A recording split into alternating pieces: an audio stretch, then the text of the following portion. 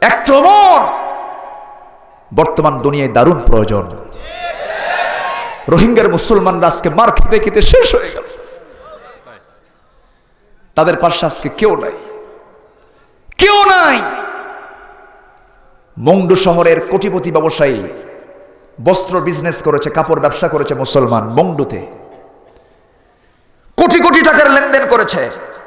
সেই লোকটা আমার দেশের সেই ক্যাম্পে এসে লাইনে দাঁড়িয়ে দাঁড়িয়ে ত্রাণের সামগ্রী লাইনে লাইনে সে নিচ্ছে। গতকাল ছিল কোটি কোটি টাকার মালিক। সব নিয়ে নিয়েছে। শুধু সম্পত্তি নেয়নি, সতীত্ব নিয়েছে, জীবন নিয়েছে মার স্তন কেটে ফুটবল বানিয়েছে। শিশুর মাথা কেটে সন্তানকে বলছে, ফুটবল বানায় গোলপোস্ট কর। আজকে মুসলমান নিশ্চুপ, নির্বাক, কোনো কথা বলে না। ওরা যেদিন আমার বিরুদ্ধে কেমতের দিন আল্লাহর আদালতে দাঁড়িয়ে মামলা করবে, জবাব দেব কি? কি জবাব দেব আমরা? অবশ্যই জবাবের ভাষা আমাদের বের করার প্রয়োজন আছে না নাই? আসতে বলবেন না, আছে না নাই? আছে। প্রাইম মিনিস্টারকে ধন্যবাদ। উনি সুন্দর একটি শ্রেষ্ঠ কথা বলেছেন। এই দীর্ঘ সাতটি বছরের আমার কাছে মনে হচ্ছে সবচেয়ে শ্রেষ্ঠ কথা তিনি বলেছেন। এক বলক এক বেলা কম খাব, রোহিঙ্গার পাশে গিয়ে দাঁড়াবো। এটা প্রশংসার দাবি রাখে। এটা মানবতার কথা। এটা কল্যাণের কথা। এটা মানুষের কথা।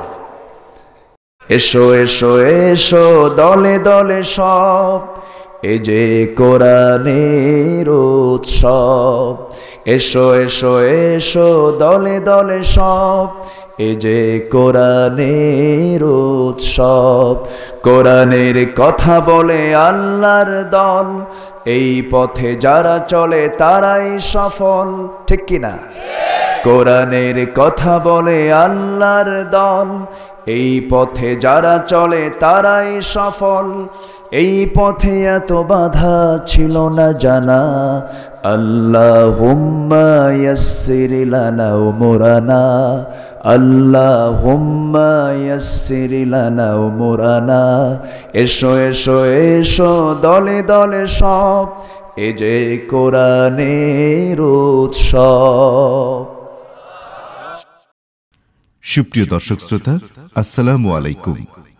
ঐতিহ্যবাহী শাহজাদপুর থানায় শাহজাদপুর বণিক সমিতির উদ্যোগে দু হাজার সতেরো সালের চোদ্দ নভেম্বর ঐতিহাসিক তফসিরুল কোরআন মাহফিল অনুষ্ঠিত হয়। উক্ত মাহফিলে প্রধান মেহমান হিসেবে গুরুত্বপূর্ণ বক্তব্য পেশ করেন আন্তর্জাতিক খ্যাতিসম্পন্ন মুফাসসিরে কোরআন ও প্রখ্যাত কারি হজরত মাওলানা আবদুল্লাহ আলাবিন ঢাকা। ভিডিও পরিচালনা, সম্পাদনা ও প্রযোজনা আলী আহমদ আকন্দ।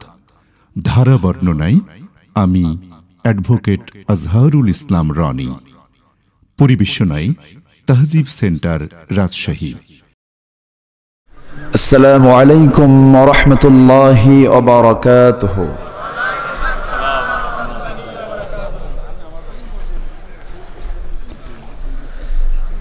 إن الحمد لله الأكرم الذي خلق الإنسان وكرم وعلمه من البيان ما لم يعلم. فسبحان الذي لا يحصى امتنانه باللسان ولا بالقلم. نشهد أن لا إله إلا الله وحده لا شريك له. ونشهد أن سيدنا وحبيبنا ومولانا محمدا عبده ورسوله. الذي أرسله بالحق بشيرا ونذيرا وداعيا إلى الله بإذنه وسراجا وقمرا منيرا فقد قال الله تعالى في كلامه المجيد وفرقانه الحميد. أعوذ بالله من الشيطان الرجيم. بسم الله الرحمن الرحيم.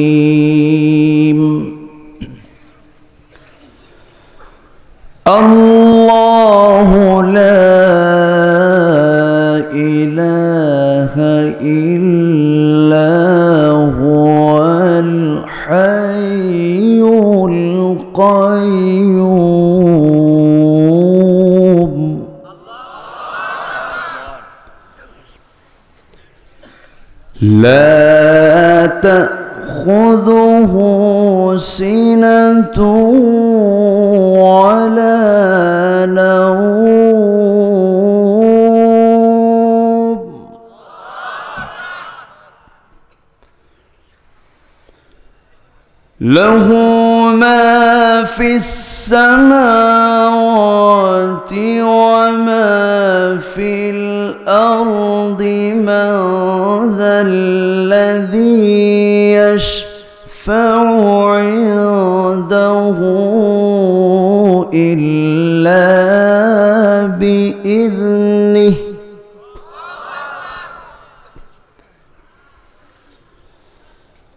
يعلم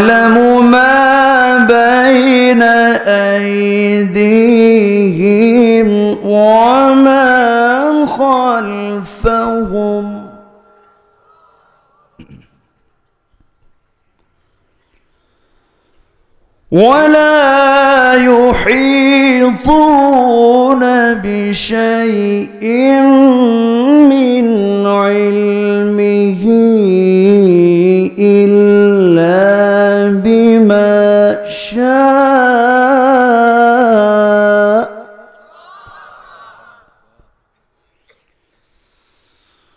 وسع كرسيه السماوات والأرض ولا يؤوده حفظهما.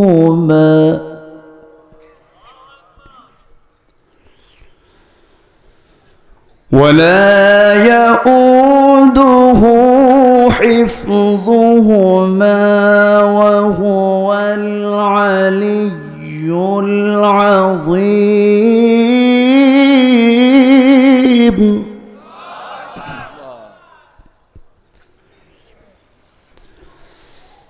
الله أكبر. بسم الله الرحمن الرحيم.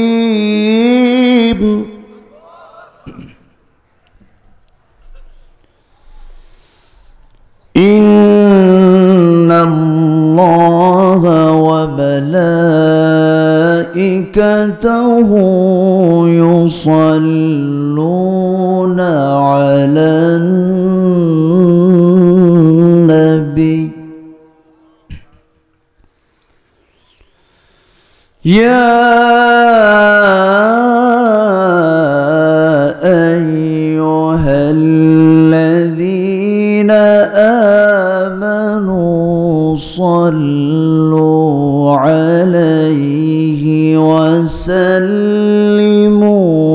تسليما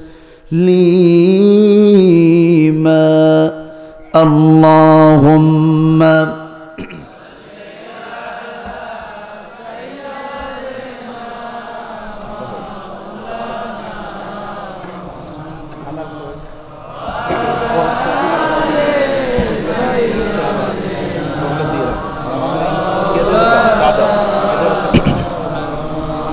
নবীর প্রতি দরদ মোহাব্বত ভালোবাসার সবার ভিতরে কম আছে না বেশি আছে?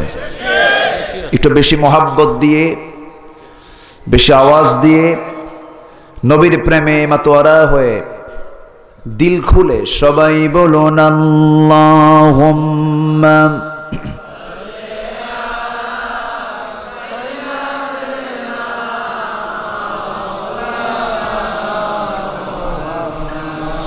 وعلى آله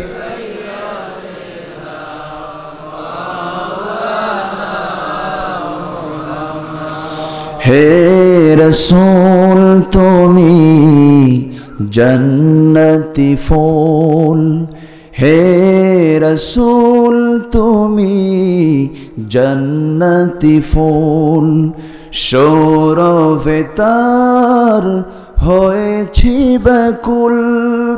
উপমাতাই কি দেব তোমায়? ভেবে আমি হই যে আকুল।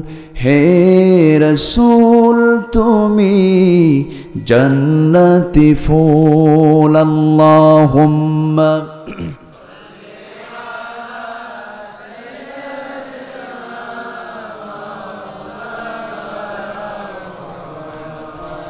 وعلى آله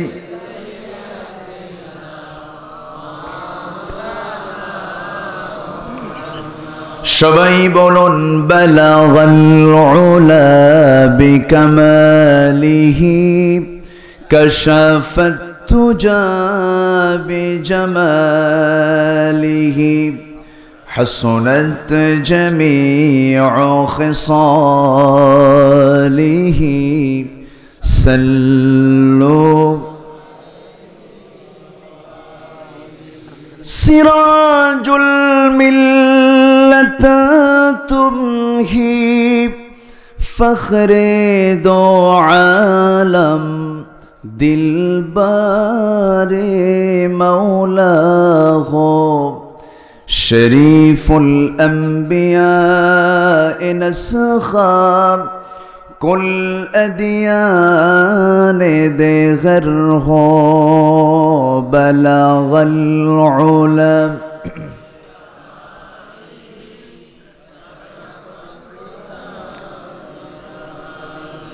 حسنت جميع خصاله.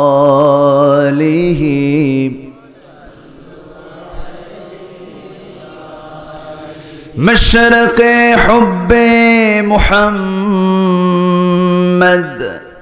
مطلع ديوان ما مطلع خورشید سقاس سینه سوزان ما بلغ العلا بكماله كشف التجى بجماله حسنت جميع خصاله سلوا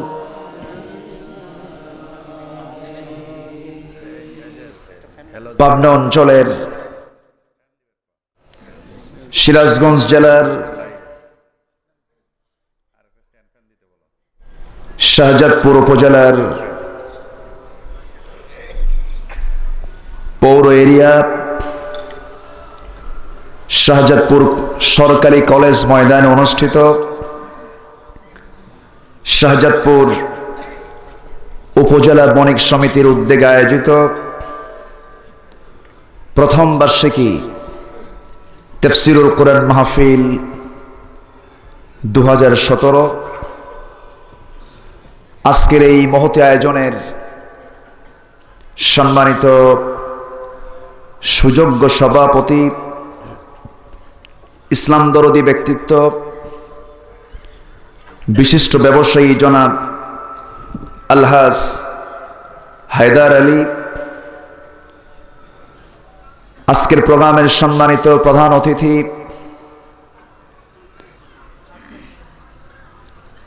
মাননীয় এমপি মহোদয়, আজকের মাহফিল উপস্থিত সম্মানিত অতিথি মণ্ডলী অতিথিবৃন্দ। আমার পূর্বে কথা বলেছেন প্রথিত জশাল মেদিন খ্যাতনামা মুফাসসিরে কোরআন, আলহাজ মাওলানা আবুল বাশার জিহাদি।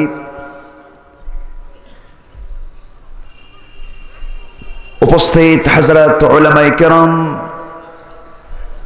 ফদল ইজাম, সুশীল সমাজ, শিক্ষক মণ্ডলী সাংবাদিক বৃন্দ প্রশাসনের দায়িত্ব নিয়োজিত কর্মকর্তাবৃন্দ সামনে উপস্থিত বিভিন্ন অঞ্চল থেকে আগত, পার্শ্ববর্তী জেলা থেকে আগত, আমার সামনে বসা আজকের মাহফিলের প্রধান আকর্ষণ, তৌহিদের পতাকাবাহী, কালেমার ঝান্ডাবাহী, দিন ইসলামের নরসারদুল বীর মুজাহিদ প্রাণ প্রিয় সম্মানিত দিন ইফাইরা আড়ালে বসে আছেন আমার শ্রদ্ধেয়া সম্মানিতা মা বোনেরা। আলোচনার সূচনায় আনুষ্ঠানিকতার মধ্য দিয়ে আমার পক্ষ থেকে আবারও হৃদয় নিংরানো প্রাণ উজাড় করানো সালাম।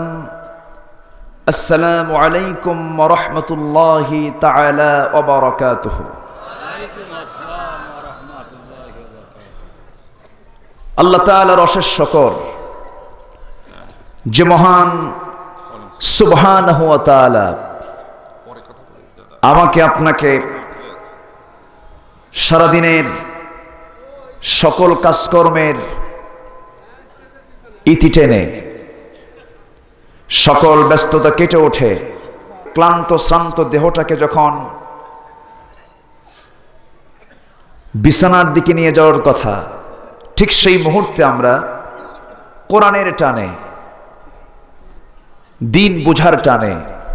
আমরা আসতে পেরেছি এমন একটি জান্নাতের টুকরায়, যিনি আমাকে আপনাকে আসার, বসার তৌফিক দিলেন। সেই মাহবুদের দরবারে আমরা সবাই লাখ কোটি সেজুদ, শকর আদায় করি, মোহাব্বতান জোড়ালো কণ্ঠে বলে উঠছি, আলহামদুলিল্লাহ। আবারও বলছে আলহামদুলিল্লাহ সবাই একযোগে বলুন আল্লাহ ইন্নি আসআলুকা আল হুদা والتقى والعفاف والغنى সবাই বলুন আল্লাহুম্মা لك أسلمت وبك آمنت وعليك توكلت وإليك أنبت সবাই বলুন আল্লাহু আকবার كبيرا والحمد لله كثيرا سبحان الله بكرة وأصيلا আমরা আল্লাহ তাআলার শকর আদায় করলাম শুক্রিয়া পাবার কৃতজ্ঞতা পাবার প্রশংসার দাবিদার একজনই হতে পারেন। তিনি কে? আসতে বলবেন না, তিনি কে? আমাকে সৃষ্টি করেছেন কে? আমি ছিলাম কার কাছে? আবার যেতে হবে? কার কাছে? আছি কার দুনিয়ায়? তাকাব্বরি করি কার দুনিয়ায়? তাকাব্বরি আমার না আল্লাহর? অথচ বান্দা তাকাব্বরি করে। বান্দা মনে করে, আমি তো বিশাল কিছু, কিচ্ছু না।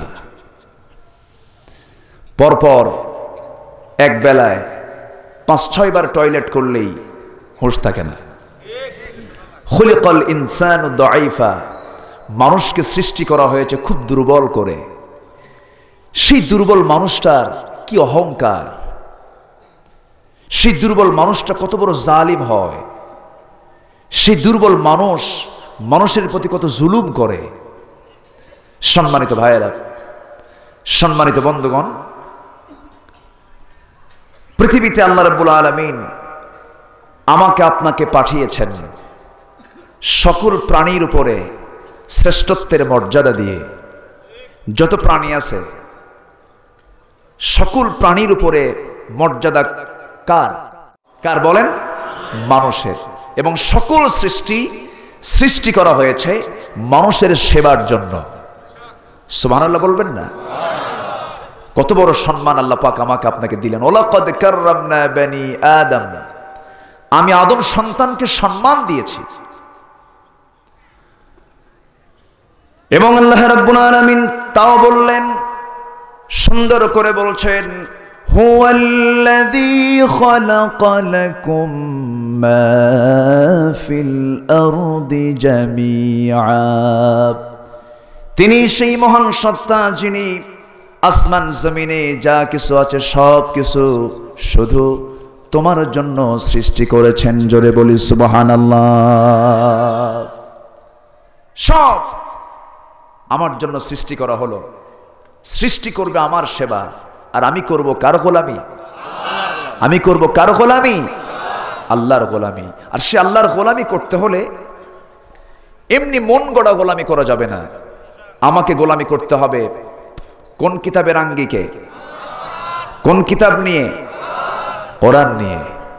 কোরআন আল কোরআনুল করিম আল্লাহ পাক নাজিল করেছেন মানুষের জন্য। কার জন্য? মানুষের জন্য। এটাও নাজিল হয়েছে।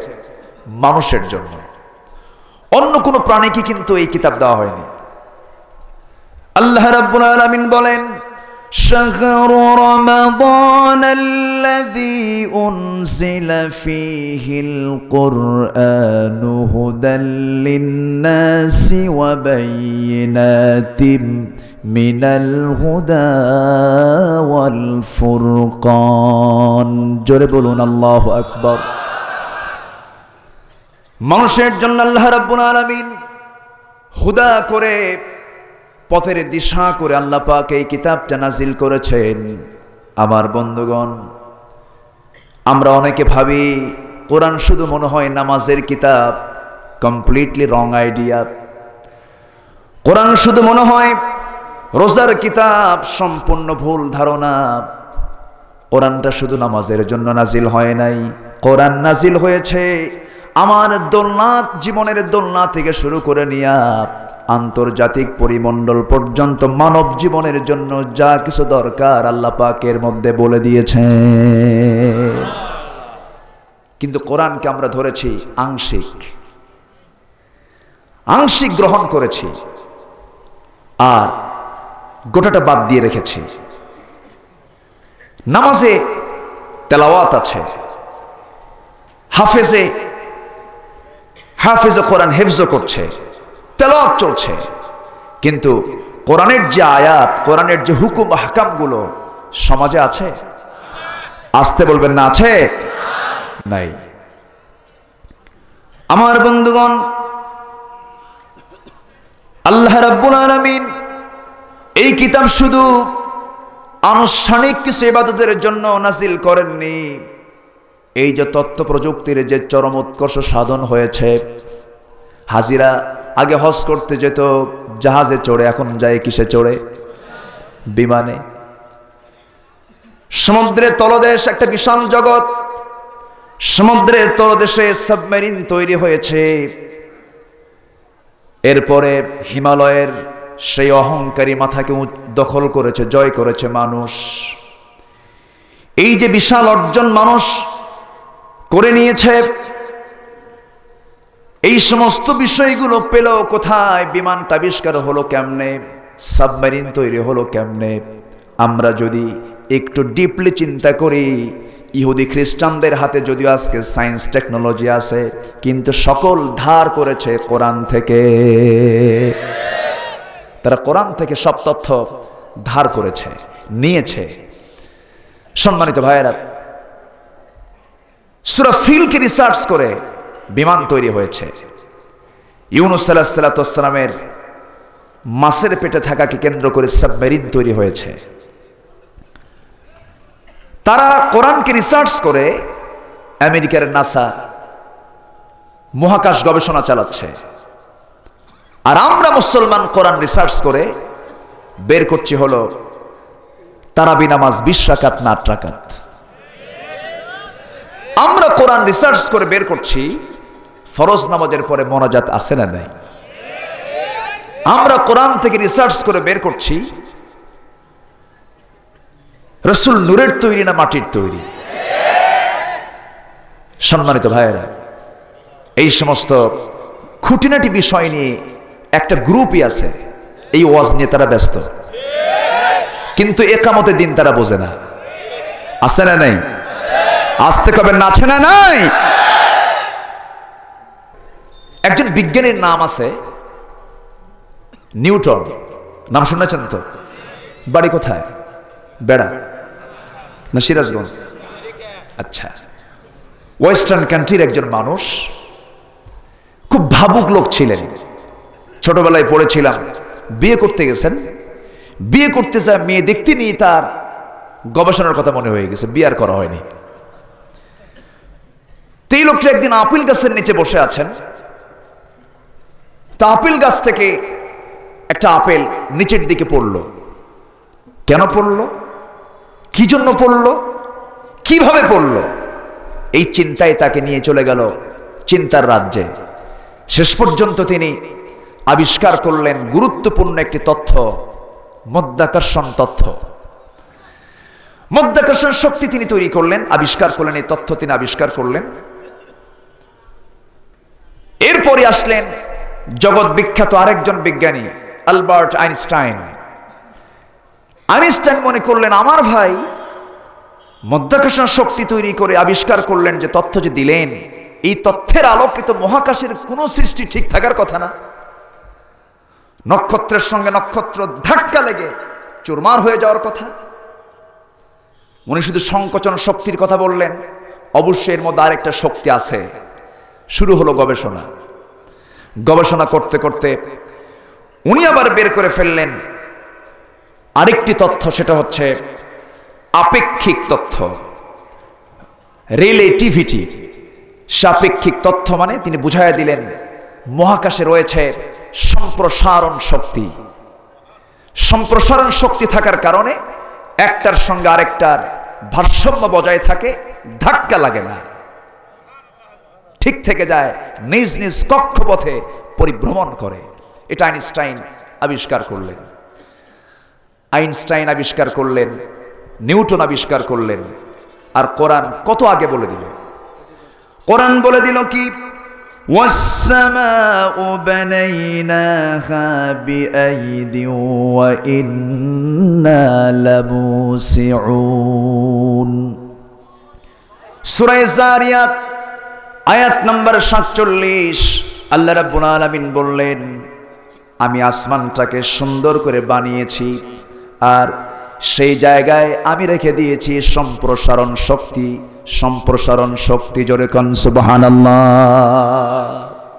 আপেক্ষিক তথ্যের কথা আল্লাহ পাক জানিয়ে দিলেন, কত আগে যে যুগে আইনস্টাইনের কোনো গন্ধই ছিল না। তাহলে এখন বলুন, কোরআন কি শুধু ধর্মীয় কিতাব না সায়েন্সের কিতাব? এর মধ্যে সায়েন্স আছে না নাই? আচ্ছা সম্মানিত ভাইয়েরা, সম্মানিত প্রিয় ভাই সব, আমি আলোচনার সূচনায় কোরআন শরীফের শ্রেষ্ঠ একটা আয়াত তেলাওয়াত করেছি। গোটা কোরআনে যতগুলো আয়াত আছে ছয় হাজার ছয় শত ছেষট্টি। এর মধ্যে শ্রেষ্ঠ আয়াত যেটা, আয়াতুল কুরসি মানে হলো গদির আয়াত। কিসের আয়াত? হয়তো বলবেন, হুজুর, গদির আয়াত আবার কেমনে বললেন? এখন সমস্যা তো সবচেয়ে বড় সমস্যা হচ্ছে গদি সমস্যা। আসতে কন কেন? জোরে ঠিক কিনা? তো গদির আয়াত আমি আজকে তেলাওয়াত করছি। এত গদি সমস্যা কেন? সম্মানিত ভাইয়েরা, কুর্সিউন মানে তফসির বিদ বলেছেন। বহু তফসির এটা এসেছে। আমি আজকে সারাটা দিন চিন্তা করেছে, আজকে কোন কথাটা বলি? শাহজাদপুরে যাচ্ছি, শাহজাদা সব। কেউ তো গোলামজাদা না। সব শাহজাদা। আমার দেশে আবার পীরজাদা আছে। আবার কিছু হারামজাদাও আছে। কিন্তু আমরা ওই সমস্ত ওই সমস্ত হারামজাদাদের পিছনে যাব না। তবে যারা প্রকৃত আলেম, তারাই হচ্ছে নবীজাদা। আজ থেকে আমরা জনগণ ঠিক কিনা? বলেছেন মোহাম্মদ সাল্লাল্লাহু আলিমদের সঙ্গে বেয়াদিবি করলে ধ্বংস অনির্বার্য ধ্বংস অনির্বার্য আমার দেশে শুধু না, গোটা পৃথিবী জুড়ে আলেমদের উপরে দমন পীড়ন, নির্যাতন, জুলুম মনে হয় নাই। আসতে কবেন না, আছে না নাই? আচ্ছা। কেন? গদি সমস্যা। আমার কথা কি বুঝতেছেন? এই জন্য গদির আয়াতে আজকে তেলাওয়াত করছে। একটু আসুন, আলোচনার দিকে চলে যায় আসল গদিটা মূলত কার? গদি মানে রাষ্ট্র। গদি মানে কি? রাষ্ট্রের চেয়ার যেটা। কুরসিয়ন। ওসিয়া কুরসিয়ন। কুরসিয়ন মানে আরবিতে চেয়ার। আরবিতে কি? চেয়ার। আয়াতুল কুরসি মানে চেয়ারের আয়াত। আল্লাহ রাব্বুল আলামিন এই একটা আয়াতের ভিতরে তার সমস্ত বর্ণনার সমস্ত পরিচয় একটা একটা করে দিয়েছেন। এই আয়াতটা যদি কেউ বোধগম্য, কারও যদি বোধগম্য হয়ে যায়, যদি তার নলেজে চলে আসে, সেই বান্দা কখনো অহংকার হতে অহংকার করতে পারে না, জালিম হতে পারে না, মোনাফেক হতে পারে না, মুশরিক হতে পারে না, ফাসিক হতে পারে না। শুধুমাত্র জানার অভাবে অনেকে ভুলটা করে থাকেন, আমাদের দায়িত্ব হলো জানিয়ে দেওয়া। আসুন আমরা সে আয়াতের দিকে চলে যাই।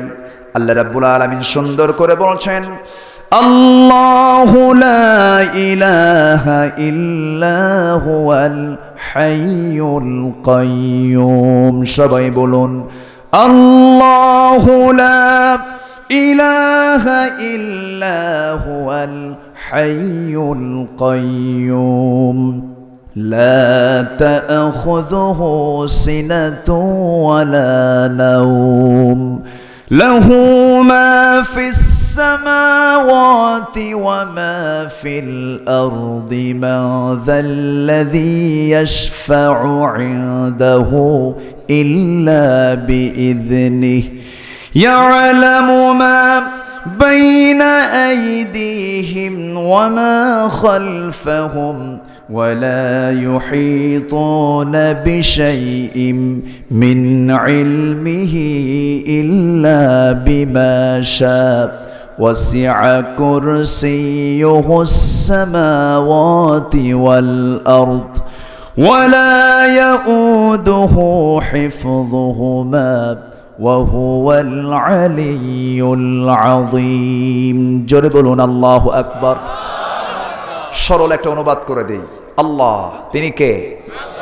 লা ইলাহা, কোন ইলাহা নাই। কে ছাড়া? আল্লাহু ইলাহা ইল্লাহু। আল হাইয়ুল কাইয়ুম। যিনি চিরস্থায়ী এবং চিরঞ্জীব। তিনি কে? লা তাখুদুহু সিনাতুন যাকে ধরতে পারে না, তন্দ্রা এবং নিদ্রা। তন্দ্রা মানে কি? ঘুমের ভাব। বুঝতেছেন কি? তো তন্দ্রা হচ্ছে তন্দ্রাচ্ছন্ন হওয়া। তো আল্লাহ পাক বলছেন, ঘুম তো দূরের কথা, যাকে তন্দ্রাও ধরতে পারে না, স্পর্শ করতে পারে না। জোরে কোন সুবহান আল্লাহ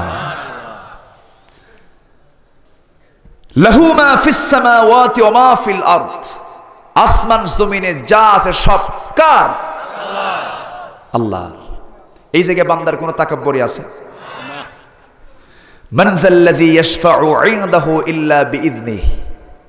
কেউ সুপারিশ করতে পারবে না। কার অনুমতি ছাড়া। আসতে বলবেন না, কার অনুমতি ছাড়া। আল্লাহর অনুমতি ছাড়া। এরপর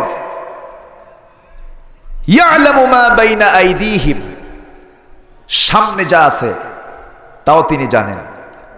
পিছনে যা আছে ওমা খালফাহুম। তাও তিনি জানেন। তাহলে সর্বজান্তাকে না গোয়েন্দা সংস্থা? সর্বজান্তাকে আল্লাহ। আল্লাহ। ওয়ালা ইউহাইতুনা বিশাইইম মিন ইলমিহি ইল্লা বিমা কেউ তার এলেমের সমকক্ষ হতে পারে না। আল্লাহ তালার যে এলেমের ধারে পাশে কেউ যেতে পারে না। তবে হ্যাঁ যতটুকু আল্লাহ দিয়েছেন, ততটুকু জানে। কে দিয়েছেন? তাও বলতেছেন তোমাদেরকে দিয়েছে আমি খুব সামান্যতম জ্ঞান। তার ঠেলাতেই মানুষ কদ্দূর গেছে। মঙ্গল গ্রহে সামনে ফ্ল্যাট হবে, বিল্ডিং হবে। কত কি হচ্ছে? মঙ্গল গ্রহে অফিস হচ্ছে। কত কি তৈরি করছে মানুষ? আচ্ছা। এরপর ওসিয়া আরদ। তার রাজত্ব, তার গদি, তার ক্ষমতা, তার চেয়ার আসমান জমিন বরাবর। যেরকম সুবহান আল্লাহ আর তুমি বেটা দুদিনের মন্ত্রী হয়ে আর তিন দিনের নেতা হয়ে একটা মানুষকে খুন করো। একটা মানুষকে জবা করো। তুমি চিরজাহান্নামী জান্নাতের গন্ধ পাবা না। একটা মানুষ আল্লাহ পাঠালেন, একজন মানুষের দাম আছে না নাই? একজন মানুষের দাম কত? জামিয়া আল্লাহ বলেছেন, যে একজন মানুষকে কেউ হত্যা করা মানে গোটা পৃথিবীর মানুষকে হত্যা করা। আমার দেশে কঠিন কাজ তো মেরে ফেলা নাকি?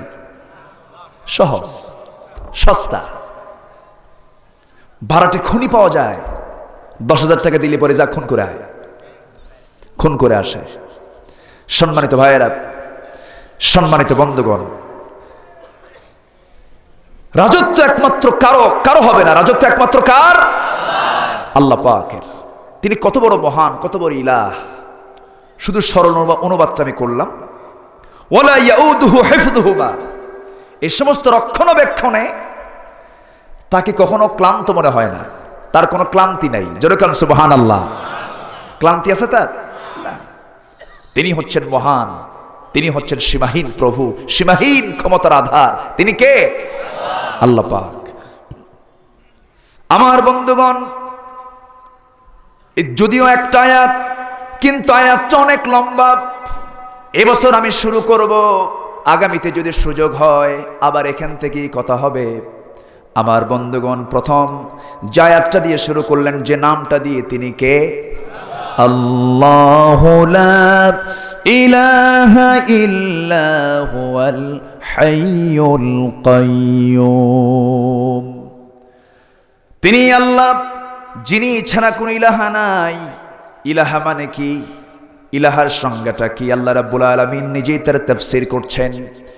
সূরা নামলের ভিতরে আল্লাহ রাব্বুল আলামিন বলছেন أمن خلق السماوات والأرض أمن خلق السماوات والأرض وأنزل لكم من السماء وأرسل لكم من السماء ماء فأنبتنا به حدائق ذات بهجة ما كان لكم أن تنبتوا شجرها أإله مع الله بل هم قوم يعدلون সুরে নামালের ষাট নম্বর আয়াতে বলছেন আম্মান কে আসমান জমিন কে সৃষ্টি করেছে? এরপরে সেই আসমান থেকে বৃষ্টি কে দিয়েছেন? আসতে বলবেন না কে দিয়েছেন? এবং সেই বৃষ্টির মধ্য দিয়া এই বাগান বাগ বাগিচা কে বানিয়েছেন? আল্লাহ নিজেই প্রশ্ন করে বলছেন, তিনি যদি এতটুকু পারেন আল্লাহ, আল্লাহর সমকক্ষ কোনো ইলাহা আছে নাকি? আসতে বলবেন, না আছে নাকি? আল্লাহর সমকক্ষ কোন ইলাহা নাই। এই শব্দটাই বাক্যটা পাঁচবার বলেছেন, গুরুত্ব দিয়ে বলেছেন, হাফিজ কোরআন আমার ডান পাশে বসে আছেন। অনেকে হাফিজ কোরআন বসে আছেন, পাঁচটা বার বলেছেন এরপরে আয়াতে বলছেন, আম্মান জাআলাল আরদ করারা أنهارا وجعل لها رواسي وجعل بين البحرين حاجزا أإله مع الله بل أكثرهم لا يعلمون جربلون الله أكبر আয়াতগুলো শুনে কি বিরক্ত লাগছে আপনাদের শুনলেও কিন্তু সোয়াব যদি নাও বুঝি শুনবো সোয়াব পেয়ে যাব। যেরকম সুবাহান আল্লাহ তিনি বলছেন, জমিনটা কি? চলাফেরার উপযোগী? কে করে দিল তোমাদের জন্য? আম্মান প্রশ্নবোধক হরফে ইস্তেফাম শব্দ প্রয়োগ করেছেন। প্রয়োগ করে বলছেন, এরপরে বলছেন, দিয়েছি সেখানে আবার নদ, নদী দিয়েছি, খাল বিল দিয়েছি, দরিয়া দিয়েছি সব কিছু দিয়েছি, এই দেওয়া তো কেউ দেয় নাই।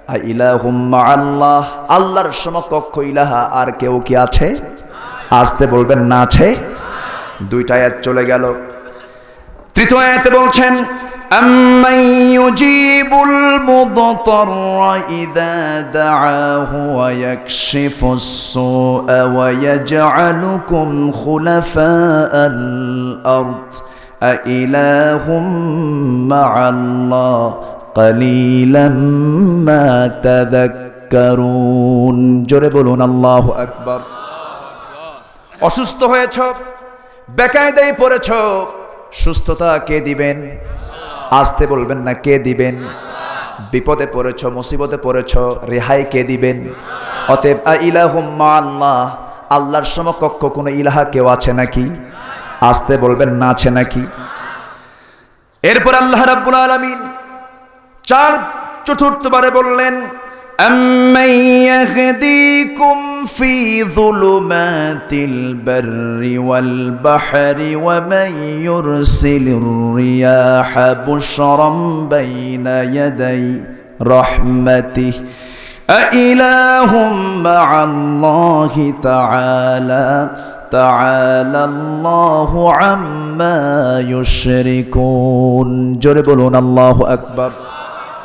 অন্ধকারে চলো তুমি। জলে স্থলে সেই সময় অন্ধকারে চলার জন্য আকাশে চাঁদটা দিয়ে দিয়েছেন কে? দিনের বেলা সমস্ত কাজ, সমস্ত কিছু বাস্তবায়নের জন্য সূর্য দিয়েছেন কে? আল্লাহ দিয়েছেন।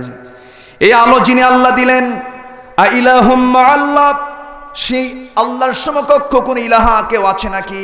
আল্লাহ প্রশ্ন করে বলছেন, পঞ্চমবার বলছেন, একটা কথা বারবার বলছেন মানে গুরুত্ব কম দেওয়া না বেশি দেওয়া পাঁচবার বললেন পঞ্চমবারে বলছেন أمن يبدئ الخلق ثم يعيده ومن يرزقكم من السماء والأرض أإله مع الله قل هاتوا برهانكم ইন কুতুম সাদিকিন। জোরে বলুন, আল্লাহ আকবার। প্রথম সৃষ্টি কে করেছেন? প্রথম সৃষ্টিকার! অতএব তার সমকক্ষ কোন ইলাহা কেউ আসতে বলবেন না, আছে নাকি? কেউ নাই। আমার বন্ধুগণ সেই আল্লাহকে বিশ্বাস করতে চায় না, আল্লাহকে মানতে চায় না। আল্লাহকে বিশ্বাস করে না এমন শ্রেণির নাস্তিক আমার দেশে মনে হয় নাই। আসতে কোন কোন আছে না নাই? আছে। খ্রিস্টান, ইহুদি, রসুলকে গালি দেয় না। Michael H Hart, the hundred, একটা বই লিখলেন। একশো জন মনীষীর তালিকা তিনি করলেন একটা বইয়ের ভিতরে। একজন খ্রিস্টান। এক নম্বর তালিকায় স্থান দিয়েছেন মোহাম্মদ সাল্লাল্লাহু আলাইহি ওয়াসাল্লামকে, ইহুদি খ্রিস্টানরা রসুলকে গালি দেওয়ার সাহস পায় না মানে সুযোগ পায় না। গালি দেবো কেমনে? লোকটা তো মহান। খ্রিস্টানরা, ইতিহাসবিদরা, পশ্চিমা বিশ্বের কোন ইতিহাসবিদ রসুলকে গালি দেয়নি। বরঞ্চ তারা বলেছে, পৃথিবীতে রক্তপাতহীন বিজয়ের সূচনা করেছেন মোহাম্মদ সাল্লা সাল্লাম আর সেই রসুলকে নিয়ে আমার দেশের কিছু মুসলিম নামধারী নরাধম বেদব নরপশু রসুল কিনে বাজে মন্তব্য করে। উচিত ছিল এদের জিব্বা টেনে ছেড়া। ওই সমস্ত বাতিলদের মোকাবেলা করতে রাজি আছেন কারা? কারা? দু হাত উঁচু করে দেখা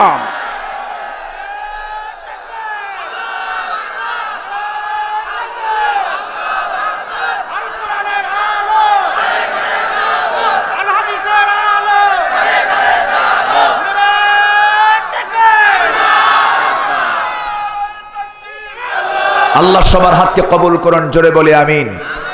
আরও জোরে আমিন। আজকে মুসলমান আল্লাহকে ভুলে গেছে। আল্লাহকে চেনে না। আল্লাহর কথা মনে থাকে না। খাওয়ার সময় বিসমিল্লা কবে কখন খাইয়া হুঁশ পায় না। আছে না নাই? আছে না নাই? আছে। আল্লাহ তাও রাগ করেন, আল্লাহ বলেন, মাঝখানে মনে হয়েছে, বল, বিসমিল্লাহি আউয়ালাহু ওয়া আখিরা তাও বল আমি তোকে মাফ করে দেব। জোরে কোন সুবহান আল্লাহ তাও বল। ঘুমিয়ে কাজা করেছে ফজর। তখনও জাগনি, যখনই জহর। কবি নজরুল কত সুন্দর করে কবিতার ছন্দ মিলিয়ে দিয়েছেন। যাও এসার জামাতে সামিল হও। আল্লাহ মাফ করবেন। কি সুন্দর কথা। তারাও কবি সাহিত্যিক। আল্লাহর পক্ষে কথা বলেন। আর আমার দেশের কিছু কিছু শয়তান, এক শয়তান মরছে, সাব্যসাচী লেখক। কি যেন নাম? না না। শামসুল হক। নামটা বলেই ফেললাম। সব্যসাচী লোক সে বলে, কুকু, কি কাক? তুই বেশি করে কা কা কর। আজানের শব্দ আমার বিরক্ত লাগে। ওর জানাজা যে ইমাম পড়ছে, ও সৈরাচারী ও মোনাফেক! আজ থেকে বলেন সরকার ঠিক কিনা? আমার দেশে মোনাফেক আছে না নাই? কম। সম্মানিত ভাইয়েরা, কষ্ট হচ্ছে আপনাদের? সমস্যা? অসুবিধা? তবে হ্যাঁ হকের পক্ষে কথা বলব। বাতিল শক্তির কাছে আমরা মাথা নত করব না। হক কথা বলব, যা হবে হবে। আরে, বাঁচবো কয়দিন? এত চিন্তা করে লাভ আছে নাকি? তবে আওয়ামী লীগ আমার শত্রু না, বিএনপি আমার শত্রু না, জামাত আমার শত্রু না, জাতীয় পার্টি আমার শত্রু না। শত্রু হলো আল্লাহ রসুলের বিরুদ্ধে যারা চলবে, তারা আমার শত্রু। এক্ষেত্রে কি সবাই একমত? সবাইকে একমত? আল্লাহ কবুল করুন, জোরে বলি আমিন। আল্লাহর বক্তব্য এরকমই, তাআলাউ ইলা কালিমাতিন, তাআলাউ ইলা কালিমাতিন সাওয়াইম বাইনানা ওয়া বাইনাকুম। এক কালিমার দিকে আসো, সব পথ ছাড়ো। কালিমা ধরো কয়টা? একটা, লা ইলাহা ইল্লাল্লাহ, একটা কালিমা ধরো। একটা কালিমা ধরো তোমরা। আল্লাহকে ভুলে যেও না। কিন্তু আমরা সব কিছু ভুলে গেছি। আল্লাহকে ভুলে গিয়েছি, মসজিদ ভুলে গেছি, মন্দির ভুলি নাই। দুর্গা পূজা যখন আসে, আমার দেশের কিছু বুজুর্গ যুবকরা যায়। যায় না? বুজুর্গ যুবকরা সেই দুর্গা পূজার প্রসাদ খাওয়ার জন্য ভিক্ষুকের মতো ছায়া বসে থাকে। আছে না? তুমি কি ফকির? যে তুমি সেখানে যাবা? তুমি কেন যাবা সেই জায়গায়? উনকো নে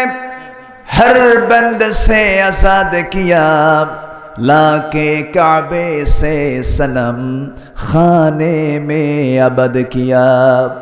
নব্য যুগের সভ্যতা মহে কেটে ফেললে সব বাঁধন মসজিদ ছেড়ে মন্দিরে গিয়ে বাসা বেঁধেছ হায় এখন ইকবাল আফসোস করে বলছেন ইকবাল আরেক জায়গায় বলছেন है अगर याद तो काफिर की तरानी ही बस है अगर नहीं याद तो मस्जिद तो सफा याद नहीं কাফিরদের আওয়াজ তোমার ভালো লাগে অবিশ্বাসীদের আওয়াজ তোমার প্রিয় সংগীত মনে করে মনে মনে করে নিয়েছ, অথচ মসজিদের আওয়াজ তোমার মন থেকে দূরে চলে গেছে। মসজিদের আওয়াজ তোমার ভালো লাগে না। এটা কি মুসলমানের লক্ষণ না মোনাফিকের লক্ষণ? মোনাফিকের লক্ষণ। আমার বন্ধুগণ, আল্লাহ রাব্বুল আলামিন গোটা কোরআন শরীফে যত কথা বলেছেন, গোটা কোরআনের ভিতরে তিন প্রকার কথা বলেছেন, তৌহিদের কথা বলেছেন, রেসালাতের কথা বলেছেন, আখেরাতের কথা বলেছেন। তিনটা ভাগ করলে পরে একটা ভাগ দশ পারা বলেছেন তাওহিদের কথা মানে উলুহিয়াতের কথা, ইলাহার কথা জোরে কন, সুবহানাল্লাহ।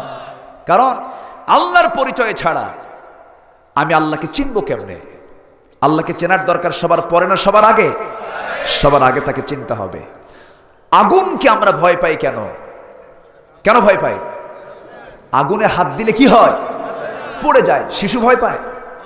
শিশু ভয় পায়।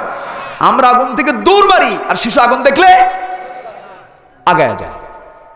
আগুনের জ্ঞানটা শিশুর না থাকার কারণে সে আগুনের দিকে এগিয়ে যায়, আর আমাদের আগুনের জ্ঞানটা থাকার কারণে মারি দৌড়। তা আল্লাহকে যদি আমি না চিনি, আখেরাতকে যদি আমি নাই বুঝি, আমি কেমনে আমি আল্লাহকে বুঝব, আল্লাহকে জানব। এই জন্য আল্লাহর পরিচয়টা আল্লাহ পাক গোটা তিরিশ পাড়ার দশ পাড়াই দিয়েছেন তার পরিচয়। যেরকম সুবাহান আল্লাহ সুরা ফাতিহাই পরিচয় আছে না নাই? আচ্ছা প্রথমেই তার পরিচয় দিয়েছেন, সবে আমার সঙ্গে ঠোঁটটা মিলান, সব পেয়ে যাবেন সময় বলুন, আলহামদুলিল্লাহ রব্বিল আলামিন। الرحمن الرحيم مالك يوم الدين. إياك نعبد وإياك نستعين. اهدنا الصراط المستقيم صراط الذين أنعمت عليهم. غير المغضوب عليهم ولا الضالين এরপরে প্রশংসা সবই কেবল তোমারি সবাই বলুন প্রশংসা সবই কেবল তোমারি রব্বুল আলামিন। দয়ালো মেহেরবান, করুণা ফুরান দয়ালো মেহেরবান, করুণা ফুরান আর কেউ নয় তুমি মালিক, শেষ বিচারের দিন। শেষ বিচারের দিন। প্রশংসা সবই কেবল তোমারি রব্বুল আলামিন। আল্লাহ আকবর। মতিউর রহমান মল্লিক মারা গেছেন। কি সুন্দর কবিতা রেখে গেছেন। কেমন পর্যন্ত তার জন্য মানুষ দোয়া করবে।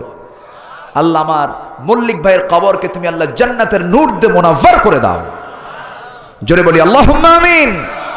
তারাও কবি, তারাও সাহিত্যিক। কিন্তু আজকে আমার দেশের সাহিত্য অঙ্গনকে নষ্ট করেছে কিছু নষ্ট নাস্তিক চক্র। ঠিক কিনা? এদেরকে কান ধরে সেখান থেকে নমায় দেওয়া দরকার। আল্লাহকে চেনো না, তোমার চার পয়সা দাম আল্লাহর কাছে নাই। সবার আগে চিনতে হবে কাকে। আসতে বলবেন না, কাকে চিনবো আমরা? আল্লাহকে চিনবো। কষ্ট হচ্ছে আপনাদের? হাজিরা হজ করতে যায়। তালবিয়া পড়ে। তালবিয়া পড়ে না?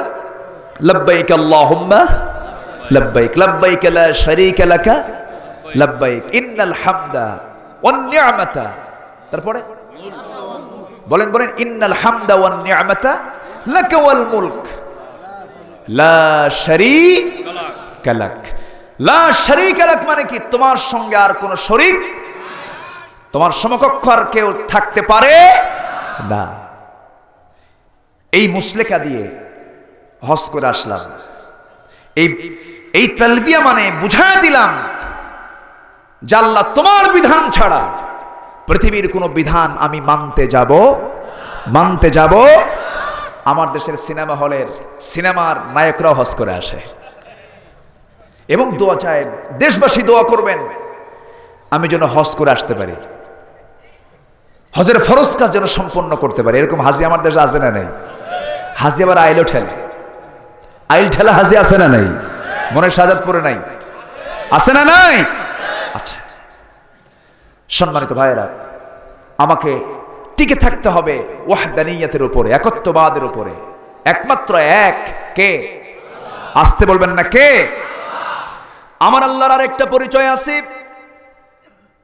ছোট্ট সুরার ভিতরে আল্লাহ পাক সুন্দর করে তার পরিচয়টা পুরোপুরি দিয়ে দিয়েছেন। যারা পড়েন, সঙ্গে পড়ুন। কুল হুয়াল্লাহু আহাদ।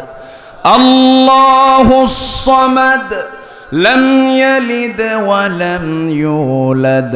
ওয়া লাম ইয়াকুল লাহু কুফুয়ান আহাদ। এই সূরার নাম কি? না কুলহু? অনেকে কুলহু পারে, কিন্তু এখলাস পারে না। আলহামদু পারে, কিন্তু সুরা ফাতিয়া পারে না। আছে না ভাই বলেন তো? আচ্ছা এই জন্য কুলহু কইলাম। তো রসুল একটা টিমকে পাঠালেন, কোন একটা কাজে। সেই টিমের একজন ইমাম বানালেন।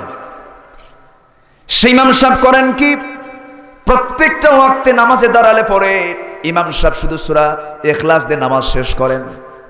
প্রত্যেক ওয়াক্তে সুরা এখলাস মুসল্লিদের মধ্যে বিরক্ত লেগে গেল। কত বড় বড় সুরা আছে, কত সুন্দর সুন্দর সুরা আছে, শুধু সুরা এখলাস পড়ে। সাহাবেকেরাম বিরক্ত হয়ে নবীর সামনে দাঁড়িয়ে বলছেন, ইয়া রসুল আল্লাহি ইয়া হাবিব আল্লাহি এমন ইমাম দিলেন, সুরা এখলাস ছাড়া কোনো সুরাই পারে না। আমার নবীজি বললেন সোনা সাহাবিরা, আমার সাহাবিকে তোমাদের ইমামকে আমার সামনে ডাকো, আমি তাকে তালাশ করছি, তাকে নিয়ে আসা হলো। আমার নবজি তাকে বললেন, ওরে আমার সাহাবি, তোমাকে নেতা করে পাঠালাম, শুধু সুরায় ক্লাস পরে নাকি নামাজ শেষ করো? এর কারণটা কি? সেই সাহাবি নবীর সামনে হঠাৎ করে কেঁদে ফেললেন, চোখের পানি ফেলতে ফেলতে বলছেন ইয়ারসুল আল্লাহি আমি গোটা কোরআন শরীফ শুরু থেকে শেষ পর্যন্ত আমার সবই জানা আছে। কিন্তু নামাজে যখন দাঁড়াই, আমার কাছে মনে হয় আল্লাহর চেনার ক্ষেত্রে, আমার কাছে এটাই মনে হয় যে গোটা কোরআন শরীফের ভিতরে সুরা এখলাস ছাড়ার প্রকৃত সুন্দর সুরার নাই। আমার কাছে এই সুরাটা সবচেয়ে মজার লাগে, সবচেয়ে প্রিয় মনে হয়। রসুল জড়ায় ধরে বললেন, সাহাবিরা, শোনো, এই ইমামই তোমাদের রাখতে হবে। কেন? আমিও নিজে বলে দিলাম সুরা এখলাস হলো গোটা কোরআন শরীফের তিন ভাগের এক ভাগ। যেরকম সুবহান আল্লাহ গোটা কোরআনের তিন ভাগের এক ভাগ মানে তিনবার পড়া মানে গোটা কোরআন শরীফ পড়ে পড়া সবাই পড়ব। যেরকম যেরকম নামাজ না পড়লেও চলবে। অপশনালে একশো পেলাম, অতিরিক্ত সাবজেক্টে একশো পেলাম কম্পালসারিতে জিরো পাস আসবে? আসবে? নামাজ সবার আগে। সবাই পড়ব তো? সবাই পড়তে রাজি আছেন তো? আচ্ছা এখন আল্লাহর পরিচয়টা আমরা নিলাম, ঠিক আছে। কিন্তু আল্লাহর পরিচয় পাওয়ার পর আল্লাহর যে মহাব্বতটা আমি আমার দিলের মধ্যে আনব, সরাসরি আমি আল্লাহর ভালোবাসা কিন্তু পাবো না। আল্লাহর ভালোবাসা পেতে হলে একটা ভায়া লাগবে। একটা মাধ্যম লাগবে। তিনি কে? মোহাম্মদ সাল্লাল্লাহু মোহাম্মদ সাল্লাল্লাহু আলাইহি ওয়াসাল্লাম। রসুলকে মোহাব্বত করতে হবে। নিজের জীবনের চাইতে একটু কম। একটু কম না? একদিন ওমর ফারুক রাজি আল্লাহ আনহু নবীর সামনে বসে আছেন। রসুল বললেন, ওমর, তুমি আমার কেমন ভালোবাসো? চোখ বন্ধ করে হুজুর, আমার জীবনের সাথে একটু কম। কি কথা কি বুঝতেছেন? রসুল বললেন তোমার ইমানটা পাকা হয়নি। তিনি চোখ বন্ধ করে হু করে কেঁদে ফেলে বললেন আল্লাহি আল্লাহর কসম করে বলি, আমি অমর আমার জীবনের চাইতে আপনাকে বেশি ভালোবাসি। সে ভালোবাসা কি তারা দেখেন নাই? সব সাহাবি হিজরত করে রাতের আধারে রসুল চলে গেলেন। এবং আগে ভাগে কিছু সংখ্যক সাহাবিকে রসুল পাঠিয়ে দিলেন আবিসিনিয়ায়, বিভিন্ন জায়গায়। তারা হিজরত করলেন। সবাই হিজরত করেছেন রাতে। লুকে লুকে। হাজরত ওমার সকালবেলা উঠে দেখেন তার বাড়ি, রসুলের বাড়ির সামনে গিয়ে দেখেন রসুল নাই। মেজাজ গেছে গরম হইয়া। আবু জেহেলের বাড়ির সামনে দাঁড়িয়ে বলছেন আবু জেহেল, মক্কার সিটি মেয়র। মক্কার কি মেয়র? ভোট ছাড়া। কি ছাড়া? ভোট ছাড়া। এখনও কি ভোট ছাড়া হয়? আসতে কন কেন?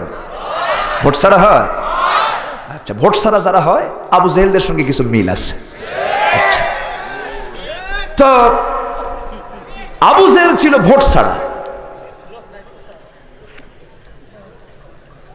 আবু জেহেল সামনে দাঁড়ানো, হাজরা তোমার ফারুক বলছেন, এ আবু জেহেল সিটি মেয়র তুমি। রসুল কই, তোমার নাগরিক তো দেখি না একটা। তুমি হলো এই মক্কার নেতা। মক্কা চালাও তুমি, প্রশাসন তোমার হাতে। রসুল কই? আবু জেহেলকে আমি জানি না। জানিস না কেন? আল্লাহ একবার বলবেন না। বুকে সাহস আছে না নাই? আসতে কবেন না আছে না নাই? আচ্ছা কেন জানবি না তুই? আবুজেল থরথর করে কাঁপে পাগলা খেপছে। কি যে হয়? কি যে কখন কি করে ফেলে? হজরত তোমার ফারুক বললেন আবু জেহেল, আমার নবীজির একটা পশমের যদি কোনো ক্ষতি হয়, আমি তোরে ছাড়বো না। বুকে কোনো ভয় আছে? বুকে কোনো ভয় আছে? চলে গেলেন। আবু জেল কিছু উশৃঙ্খল লোক লাগাই দিল, নেতা লাগাই দিল, উশৃঙ্খল কিছু ছেলেপেলে লাগিয়ে দিয়ে বলল, ওরে মার। যখন দেখলেন কিছু উশৃঙ্খল ছেলে পেলে অস্ত্র হাতে তার সামনে দাঁড়ায় গেছে, তরবারি নিয়ে হাজরা তোমার তরবারিটা উঁচু করলেন, উঁচু করে বললেন, কে আছিস? বউকে বিধবা বানাবি। আল্লাহ আকবর বলবেন না। কে আছিস? তার সন্তানকে এতিম বানাবি। এদিকে আয়। আল্লাহ আকবার। শয়তানও ভয় করে। যে রাস্তায় ওমর সে রাস্তায় শয়তানও নাই। আল্লাহ আকবর বলবেন না। কি দাপট ছিল তার। কি প্রভাব ছিল তার? আমরা দোয়া করি, আল্লাহ, তুমি তো বলো নাই যে অমরের মতো অমর পৃথিবীতে আসবে না। তুমি বলেছ নবী আর আসবে না। একটা অমর! বর্তমান দুনিয়ায় দারুণ প্রয়োজন। রোহিঙ্গার মুসলমানরা আজকে মার খেতে খেতে শেষ হয়ে গেল। তাদের পাশে আজকে কেউ নাই। কেউ নাই! মংডু শহরের কোটিপতি ব্যবসায়ী বস্ত্র বিজনেস করেছে, কাপড় ব্যবসা করেছে মুসলমান মংডুতে কোটি কোটি টাকার লেনদেন করেছে। সেই লোকটা আমার দেশের সেই ক্যাম্পে এসে লাইনে দাঁড়িয়ে দাঁড়িয়ে ত্রাণের সামগ্রী লাইনে লাইনে সে নিচ্ছে। গতকাল ছিল কোটি কোটি টাকার মালিক।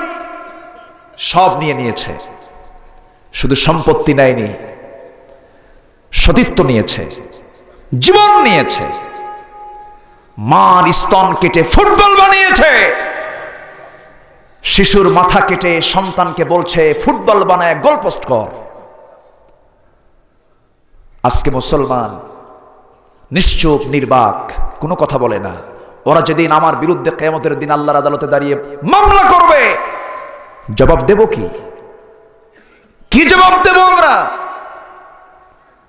অবশ্যই জবাবের ভাষা আমাদের বের করার প্রয়োজন আছে না নাই? আসতে বলবেন না, আছে না নাই? আচ্ছা। প্রাইম মিনিস্টারকে ধন্যবাদ। উনি সুন্দর একটি শ্রেষ্ঠ কথা বলেছেন। এই দীর্ঘ সাতটি বছরের আমার কাছে মনে হচ্ছে সবচেয়ে শ্রেষ্ঠ কথা তিনি বলেছেন। এক বেলা এক বেলা কম খাব, রোহিঙ্গার পাশে গিয়ে দাঁড়াবো। এটা প্রশংসার দাবি রাখে। এটা মানবতার কথা। এটা কল্যাণের কথা। এটা মানুষের কথা। কিন্তু জনগণের টাকা জনগণের টাকা দিয়ে অস্ত্র কিনে জনগণকে গুলি করা কিন্তু মানবতার কথা নয়। ঠিক কিনা?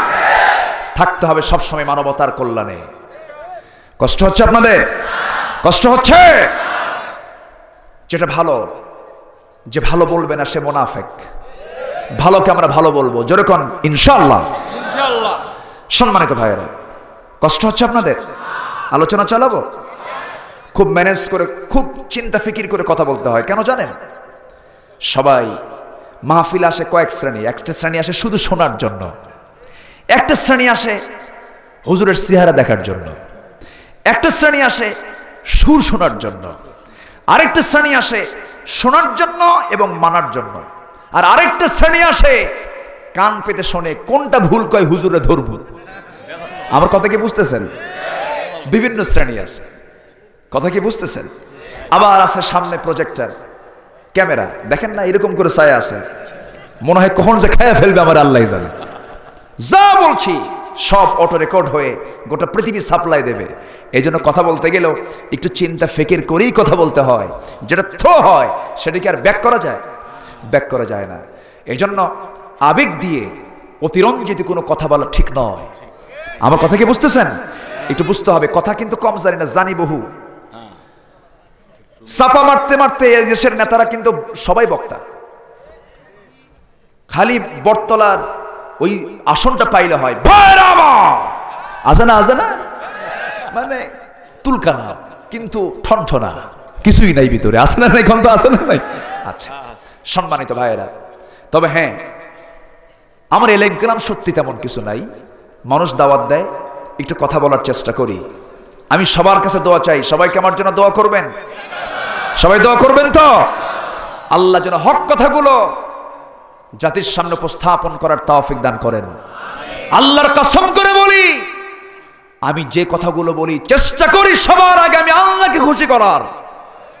মানুষকে খুশি করার জন্য আমি কোনো কথা বলতে চাই না। রসুলকে ভালোবাসবো আমরা, সবার চাইতে কম। না বেশি? ভালোবাসা চার প্রকার। ভালোবাসা কয় প্রকার? চার প্রকার। চারটা ক্ষেত্রে ভালোবাসা দেখাতে হবে। এক নম্বর হলো আল হব্বু ফিল্লাহ। আল্লাহর সঙ্গে ভালোবাসা। ইমানদার যারা, তারা সবচেয়ে বেশি ভালোবাসবে কাকে?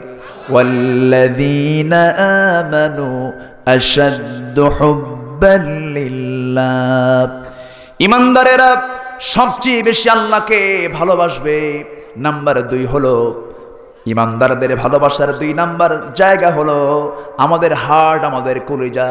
জানাবে মোহাম্মদুর রসুল্লাহ সাল্লাহ সাল্লাম।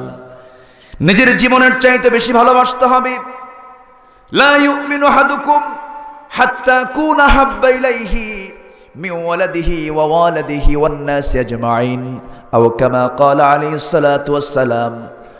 তোমাদের মধ্যে কেউ কখনো ইমানদার হতে পারবে না যতক্ষণ নামি রসুল তার নিজের নিজের জীবন থেকে, তার পিতামাতা থেকে, সন্তান সন্ততি থেকে, সকল মানুষ থেকে আমি রসুল সবচেয়ে বেশি ভালোবাসার প্রিয় পাত্র না হব। হুব্বুনও থাকতে হবে, তাবউনও থাকতে হবে। একটা তাফসীর আমি শুনেছি, কে যেন আলোচনা করেছেন যে কোরআন শরীফে কোথাও নাই রসুলকে ভালোবাসতে হবে। এটা ভুল কথা। এটা রং কথা। রসুলকে আগে মোহাব্বত না করলে আপনি অনাগুত্ব করবেন কেমনে? হব্বন এবং তেমন দুটাই থাকতে হবে আবেগ তাড়িত হয়ে এমনি একটা কথা থ্রো করা ঠিক নয়। তেমন তখনই আসবে যখন হব্বনটা কাজ করবে। ভালোই বাসি না, আমি আনুগত্য করব কেমনে? এই জন্য হাদিসে হব্বন এসেছে, কোরআনে তেমন এসেছে, দুটার সমন্বয় থাকতে হবে। কোরআন শরীফ আল্লাহ রাব্বুল আলামিন বলেছেন, ইন কুনতুম তুহিব্বুনাল্লাহ ফাত্তাবিউনি, ইউহিব্বুকুমুল্লাহ ওয়া ইয়াগফির লাকুম যুনুবাকুম, ওয়াল্লাহু গফুরুর রহিম। যদি তোমরা আল্লাহর ভালোবাসা পেতে চাও, আমি রসুল, তোমরা আমার আনুগত্য করো। এটা কোরআন শরীফ এসেছে, হাদিস শরীফে হব্বন শব্দটা এসেছে, রসুলকে ভালোবাসতেও হবে। সাহাবেকেরাম কি পরিমাণ ভালোবাসা দিয়েছেন? হজরতে আবু সালমা ইসর উম্মে সালমার সামনে দাঁড়িয়ে বলছেন, উম্মে সালমা, রসুল মক্কা থেকে মদিনায় চলে গেছেন, আমিও যেতে চাই, তুমি যাবে নাকি? হ্যাঁ আমিও যাব। উম্মে সালমার আব্বা আম্মা সন্তান কি মেয়েটাকে শক্ত করে ধরে বলছে, ও আবু সালমা, তুমি একাই মদিনায় চলে যাও। আমার মেয়েকে, আমাদের মেয়েকে তোমার হাতে তুলে দেব না। আবু সালমা মুসকি মুসকি হাসি মেরে বলছেন ও আমার শ্বশুর শাশুড়ি, দুনিয়ার সব ছাড়বো, কিন্তু আমার নবীরে ছাড়বো না। সব ছেড়ে দেব, আমার নবীকে আমি ছাড়তে পারব না। এই কথা বলা মাত্রই আবু সালমা রওনা দিবেন, উম্মে সালমা কেঁদে ফেলছেন। বাধ্য হলেন আব্বা আম্মার কাছে তিনি বন্দী হয়ে গেলেন, সন্তানটাও নিতে দিল না। উম্মে সালমা আবু সালমার ভিতরে গভীর মোহাব্বত গভীর প্রেম ছিল। বিশাল গভীর মোহাব্বত তাদের ভিতরে কাজ করত। মাঝে মাঝে তারা গভীর গল্প মজে যেতেন। একটা বর্ণনা এসেছে, একদিন উম্মে সালমা আবু সালমা স্বামীকে ডাক দিয়ে বলছেন, আমার স্বামী গো, আপনি আমাকে কেমন ভালোবাসেন? উম- উম্মে সালমার কথা শুনে আবু সালমা বলছেন, আমার স্ত্রী, তোমার কি মনে হয়? হ্যাঁ আপনি আমাকে ভালোবাসেন, কিন্তু আজকে একটা প্রশ্ন করে একটু বুঝতে চাই, আপনি আমার কেমন ভালোবাসেন? কি প্রশ্ন করবে বলো? এবার তিনি বলছেন, আমার স্বামী গো, আমি যদি আপনার আগে মারা যাই, আপনি কি আমার পরে বিয়ে করবেন নাকি? দেখছেন প্রশ্ন? মেয়েদের প্রশ্ন কিন্তু এগুলি বেশি হয় মেয়েরা কিন্তু এই ক্ষেত্রে একটু কৃপণতা দেখায়। কিন্তু আল্লাহ কিন্তু বলেছেন, মেসনা ওয়া সুলাসা ওয়া রুবা তোমরা বিয়ে করো দুই দুই, তিন তিন, চার চার। বিয়ে করেন সবাই। নাকি? দেখছেন সবাই চুপচাপ? কিছুই কয় না, তাও রাজি। চুপ থাকা সম্মতির লক্ষণ। আর সুকুত মিনার রজা। চুপ থাকা সম্মতির লক্ষণ, কিন্তু না। রসুল বলেছেন, আল্লাহ বলেছেন, ফাওয়াহিদাতান, একটাই যথেষ্ট। কটা যথেষ্ট? একটা। কিন্তু একটা সাইনবোর্ড রেখা হাজার নারীর সঙ্গে চলাফেরা করবা। এগুলো করার চাইতে তুমি চারটা করো। আমার কথা কি বোঝা গেল? জেনার কাজ বন্ধ করো। বিয়ে কইরা জেনা করবা। কোরআনের আইন থাকলে পরে তোকে পাথর মেরে শেষ করে দেবে। আমার কথা কি বোঝা গেল? এত বড় বিশাল অপরাধ তুমি করবে? না। আমি তোমার ভিতরে, এই হুকুমের ভিতরে জীবন নিহিত রেখেছি। তুমি জেনা করো না, বিয়ার একটা করো। আগের যুগের দাদাদের যুগে বউ দুই তিনটা ছিল, কিন্তু জেনা ছিল না। এখন বউ কম, কিন্তু জেনা বেশি। আসতে কন কেন? আবার বাড়ির স্ত্রীরা বলে যে, শোনো ওকাম কুকাম যা করো করো। আমি কিন্তু সাইনবোর্ড একটাই। এরকম আছে না কিছু? এটা কি বৈধ কথা? আসতে কবে না এটা কি বৈধ কথা? হয়তো আমার মারা বলতেছেন, হুজুর, আপনি এগুলো কি ওয়াজ শুরু করলেন? এটাই বাস্তব। স্বামীকে গুণাগার বানানো যাবে না। স্বামীকে গুণা মুক্ত রাখতে হবে, কারণ আপনার স্বামী তো। তার সম্মান, আপনার সম্মান, ঠিক কিনা? তবে হ্যাঁ উত্তম হচ্ছে একটি বিয়ে। কয়টি বিয়ে? একটা বিয়ে, এটা উত্তম, কারণ আল্লাহ তাআদিলু, সমতা রক্ষা করতে পারবে না। যখন দুইটা হয়, এটা ব্যালেন্স করা সহজ না কঠিন? তবু মেয়েদের ক্ষেত্রে আরও খুব সহজ না কঠিন? মেয়েদের পালা কিন্তু খুব কঠিন ব্যাপার। রসুল মাঝে মাঝে হিমশিম খেয়ে যেতেন। একবার মধু খাওয়া বন্ধ করে দিলেন।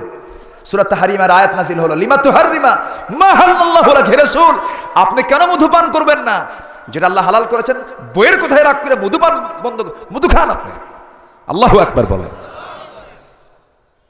লাগে। তুম্মে সালমা বলছেন আমার স্বামী, আপনি কি আমার মরার পর, আমি যদি মরে যাই আপনার আগে, আপনি কি বিয়ে করবেন? আবু সালমা চালাকি করে বললেন, শোনো, তোমার কি পছন্দ কর? কি আপনি কি কথা বুঝতেছেন? আমাদের মধ্যে হয়, এখনকার স্বামী বউর মধ্যে কিন্তু এই- অন্তত কথাটা হয় কিন্তু মাঝে মাঝে। তুমি যে কীরকম করবা, আমি মরে গেলে আল্লাহ জানে। তুমি কি বিয়ে করবা? অসম্ভব! বউ মরলে তিন দিনও পার হয় না। ঠিক কিনা আচ্ছা। উম্মে সালমা এই প্রশ্ন করলেন। আবু সালমা বলছেন, তোমার কি পছন্দ হয়? উম্মে সালমা বলছেন, আমার স্বামী গো আমি আপনাকে দারুণ ভালোবাসি। আপনি আমার একমাত্র স্বামী। আপনি যদি দুনিয়াতে বেঁচে থাকেন, আমি যদি আপনার আগে মারা যাই, আমার মন বলছে আপনি জীবনে আর দ্বিতীয় কোনো বিবাহ যেন না করেন। এই কথা বলার সঙ্গে সঙ্গে আবু সালমা মুস্কি হাসি মেরে বললেন, উম্মে সালমা, তুমি আমার বাবারে যে কথাটা বলে দিলে, যেহেতু তুমি খুশি হতে চাও, বিয়ে না করলে পরে আমার যদি আমার মৃত্যুর পূর্বে যদি তোমার মৃত্যুটা হয়ে যায়, ওয়াদা করলাম, জীবনে আর কোনো নারীকে আমি স্ত্রী বানাবো না।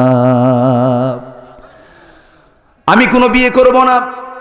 কিন্তু আমার স্ত্রী, আমার কথা কিন্তু শেষ হয় নাই, উম্মে সালমা, শোনো। কিন্তু এটার যদি সম্পূর্ণ বিপরীত হয়ে যায়, তুমি না মারা গিয়ে যদি সে আগে যদি মরে মরে যায়, আমি মরে যাই। আমি আবু সালমা যদি তোমার আগে মারা যাই তুমি দুনিয়াতে বিধবা হয়ে দুনিয়াতে জীবন যাপন করবে, আমি এটা চাবো না। তুমি যা চেয়েছো, আমি তার উল্টা চাবো। আমি আল্লাহকে বলি, আল্লাহ, আমার স্ত্রীর আগে যদি আমার মৃত্যু হয়ে যায়, তোমার কাছে এটাই আমি ফরিয়াদ করি। আমার স্ত্রীর জন্য আমার চাইতে উত্তম স্বামীর বন্দোবস্ত তুমি আল্লাহ করে দিও। স্বামী হচ্ছে সোশ্যাল সিকিউরিটি স্বামী কি? সোশ্যাল সামাজিক একটা নিরাপত্তা। একটা পারিবারিক নিরাপত্তা। একটা স্বামীর স্ত্রী স্বামী হচ্ছে স্ত্রীর ছাতা। গ্রামে গঞ্জে কয় না? স্বামী হচ্ছে স্ত্রীর ছাতা, সিকিউরিটি তার। এই কথা যখন বলে ফেললেন, আল্লাহর কাছে উম্মে সালমার চাইতে আবু সালমার দোয়াটা বেশি পছন্দ হলো। আল্লাহ রাব্বুল আলামিন আবু সালমার দোয়াটা কবুল করে নিলেন। অনেক লম্বা কথা, কষ্ট হচ্ছে নাকি? আলোচনা চালাবো? জোরে বলি ইনশাল্লাহ আচ্ছা খুব সুন্দর আপনারা। আজকে শাহজাদপুরে এসে আমার কলেজে ঠান্ডা হয়ে গেছে। এই মাহফিল প্রত্যেক বছর হোক সবাই চান তো? জোরে বলি ইনশাল্লাহ। যদিও পরে কহর ছাড়িও না শহর একটা কথা আছে। শহরের প্রাণকেন্দ্রে মাহফিল তো। এটা সৌন্দর্য আলাদা কাজ করে। রসুল কি গ্রামের লোক ছিলেন না শহরের লোক ছিলেন? শুধু কি শহর না ক্যাপিটাল সিটি? রাজধানীর লোক ছিলেন। সম্মানিত ভাইয়েরা, কিন্তু দুঃখজনক হলেও সত্য, সিটি এবং মূল শহরের প্রোগ্রামগুলো আয়োজনের বাস্তবায়নের ক্ষেত্রে অনেক রেস্ট্রিকশন করা হয়, অনেক বাধা দেওয়া হয়। আমি মনে করি, কোরআনের তাফসির মাহফিলে যারা বাধা দেয়, তারা হচ্ছে এই জামানার নতুন ফেরাউন। এই মাহফিল চলবে, জোরে বলি ইনশাল্লাহ আর জোরে বলি ইনশাল্লাহ সম্মানিত ভাইয়েরা, আবু সালমা বউকে রেখে চলে গেলেন, ইসলামের টানে, আল্লাহর টানে, নবীর টানে যেরকম সুবাহান আল্লাহ বইয়ের মায়া ছেড়ে দিলেন, সন্তানের মায়া ছেড়ে দিলেন, ব্যবসার মায়া ছেড়ে দিলেন সব কিছুর মায়া ছেড়ে দিয়া খেজুরের পাকা বাগান, আল্লাহ পাক আমাকে নিজের চোখে দেখিয়ে দিয়েছেন। খেজুরের পাকা বাগানগুলো দেখলে কলেজা ঠান্ডা হয়ে যায়। এত এই মরুর ভিতরে, এই বালুর ভিতরে কোনো পানি নাই, কিছু নাই। আর সেই মরুর ভিতরে এত সুন্দর এত সুন্দর খেজুর গাছ, এত সুন্দর ফল ধরে আছে। এই খেজুরটার ভিতরে আল্লাপাক এত প্রকার শক্তিশালী এত প্রকার শক্তিশালী জিনিস রেখে দিয়েছেন। রসুল মাঝে মাঝে বলতেন, যদি কেউ সাতটা খেজুর সাতটা খেজুর প্রত্যেক দিন সকালবেলা যদি আজোয়া খেজুর খেতে পারে, মৃত্যু রোগ সারা সমস্ত রোগের ঔষধ তার কাজ দিয়ে দেবে। জোরকন সুবাহান সেই খেজুরের পাকা বাগান পাকা বাগান ছেড়ে দিলেন। ব্যবসা বাণিজ্য ছেড়ে দিলেন। আবু সালমা চললেন মদিনার পথে। একটি বছরও চলে গেল। উম্মে সালমা, তিনিও দিওয়ানা হয়ে গেলেন। তিনি ভাবলেন, আমি যেমন করি হোক, মদিনার দিকে চলে যাব। বাপমার চক্ষু আড়াল করে সন্তানটাকে কোলের মধ্যে নিয়ে তিনি দৌড় মারলেন মদিনার দিকে। মদিনার মসজিদে তিনি পৌঁছে গেলেন। ফজর আজানটা হয়ে গেল, নামাজ শেষ হয়ে গেল। নামাজ শেষ, সংবাদ চলে আসলো, নামাজের পরে সংবাদ চলে আসলো, আজকে রাত্রেই আবু সালমা দুনিয়া থেকে বিদায় নিয়েছেন। আবু সালমা মারা গেছেন। এমন সংবাদ যখন স্ত্রীর কানে চলে আসলো, কানকে ভারী করে দিল। শোকাহত হয়ে পড়লেন, নীরবে কাঁদতে লাগলেন। ইন্নালিল্লাহ বললেন কিন্তু চিৎকার করলেন না। আমার দেশে বহু মহিলা আছে। স্বামী মরলে পরে, সন্তান মরলে হাউমাউ করে। কাপড় চোপড় ঠিক থাকে না। এটা হারাম। এটা কি? হারাম, এটা উচিত না। আমার আলোচনা যে সমস্ত মায়েরা শুনছেন, একটু কান লাগান। সম্পূর্ণ হারাম এটা। কারণ মৃত্যু তো এমন একটা বিষয়ের নাম। মমিনের জন্য মৃত্যু একটা সুসংবাদ, কারণ মৃত্যুর মধ্য দিয়া বান্দা আল্লাহর দিদারে চলে যায়। যেরকম সুবাহান আল্লাহ মৃত্যু হচ্ছে মমিন বান্দার জন্য সুসংবাদ। মৃত্যু না হলে আমি আল্লাহর সঙ্গে যাব, আল্লাহর সঙ্গে কথা বলব কেমনে? আল্লাহর সঙ্গে সাক্ষাৎ করব কেমনে? অতএব আজরাইল, এটা বিপদের কোনো কারণ নাই আজরাইল হচ্ছে মমিনের জন্য বন্ধু। আল্লাহ আকবার! এই জন্য সাহাবি সাহাবিরা শাহাদতের তামান্না করেছেন। আল্লাহ মানে তুমি শহীদ মৌদ দিও। কি মৌদ দিও? শহীদ মৌদ দিও। আমার বন্ধুগণ স্বামীর মৃত্যুর সংবাদ শুনতে পেলেন। স্বামীর মৃত্যুর সংবাদ শোনা মাত্র ইন্না লিল্লাহ বলে ফেললেন। চোখের পানি থামাতে পারলেন না, সন্তানটা এতিম হয়ে গেল। এতিম সন্তান কোলে নিয়ে আছেন। এতিম হয় বাপ মরলে না মা মরলে। বলেন বলেন। বলেন বলেন, কি মরলে এতিম হয়? বাবা মরলে কিন্তু এতিম হয়, মা মরলে কিন্তু এতিম হয় না। কিন্তু আমার নবীজি এত এমন এতিম ছিলেন, জন্মের ছয় মাস পূর্বে বাবাকে হারিয়েছেন। জন্মের পাঁচ বছরের মাথায় মা কেউ হারিয়েছেন।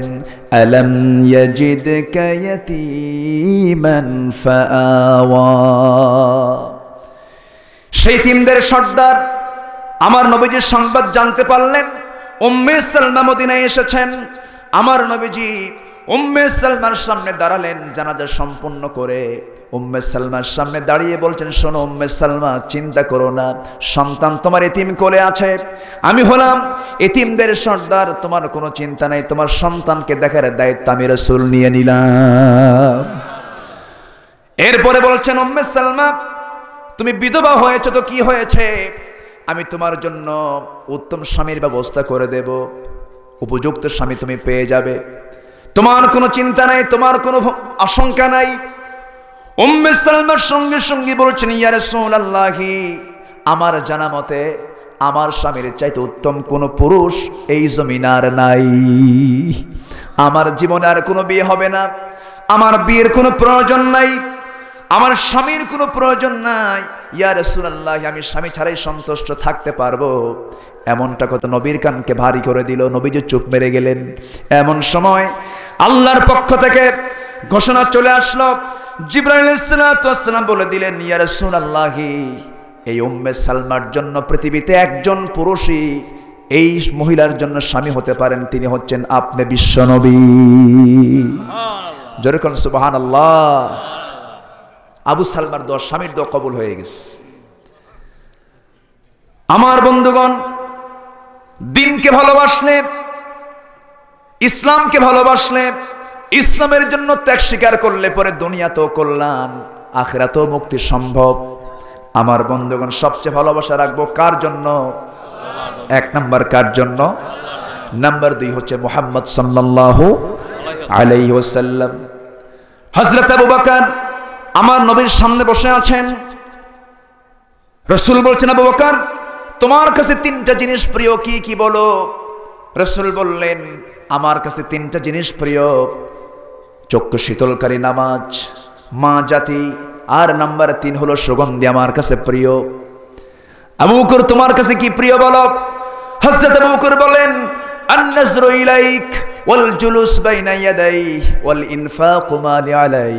আমার কাছে তিনটা জিনিস প্রিয়। এক নাম্বার হলো আপনার সামনে বসে থাকা।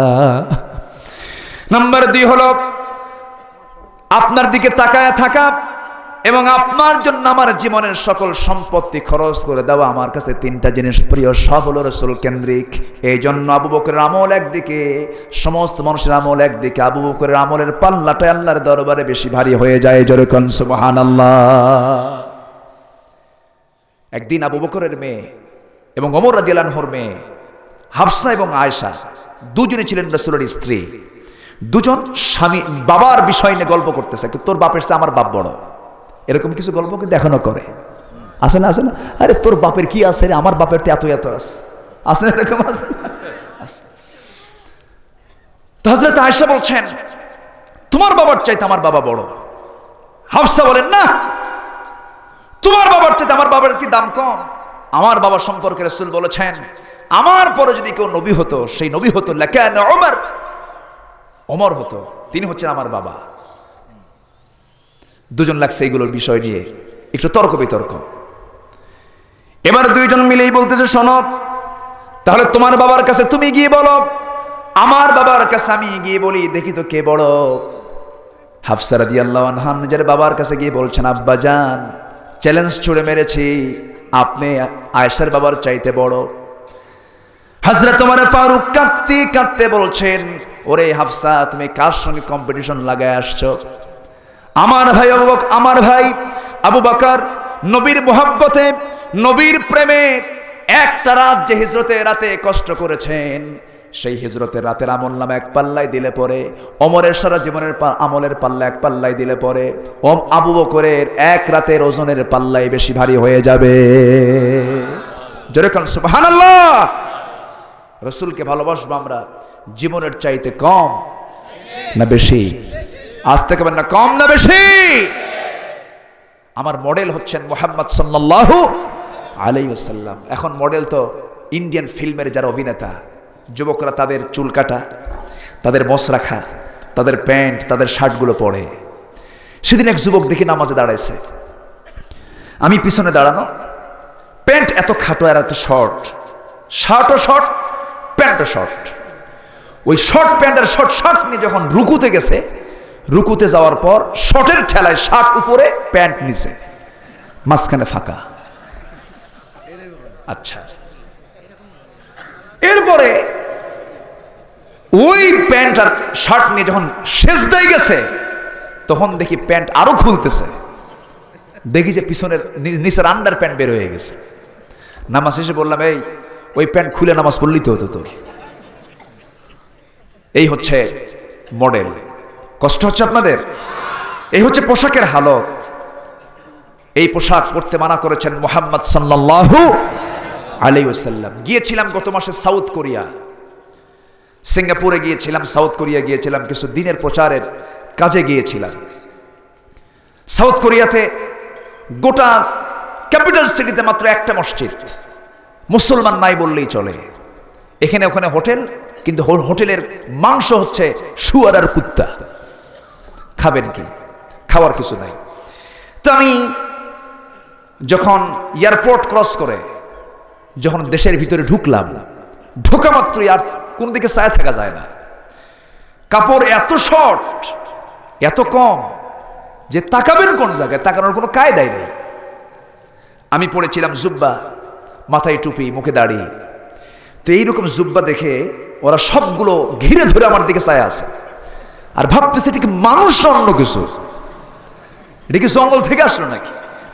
মানে ওদের কালচার হলো খুলে রাখা আর মুসলমানের কালচার হলো ঢেকে রাখা। পশু খুলে রাখে, মানুষ ঢেকে রাখে। যারা খুলে রাখে, তাদের চরিত্র হচ্ছে পশুর মতো। ঠিক কিনা বনের পশুর কোনো পোশাক আছে? আজ থেকে না আছে। পশু খুলে রাখে না। আল্লাহ পাক তাকেও ঠেকে রাখার ব্যবস্থা, স্থায়ী ব্যবস্থা করে দিয়েছেন।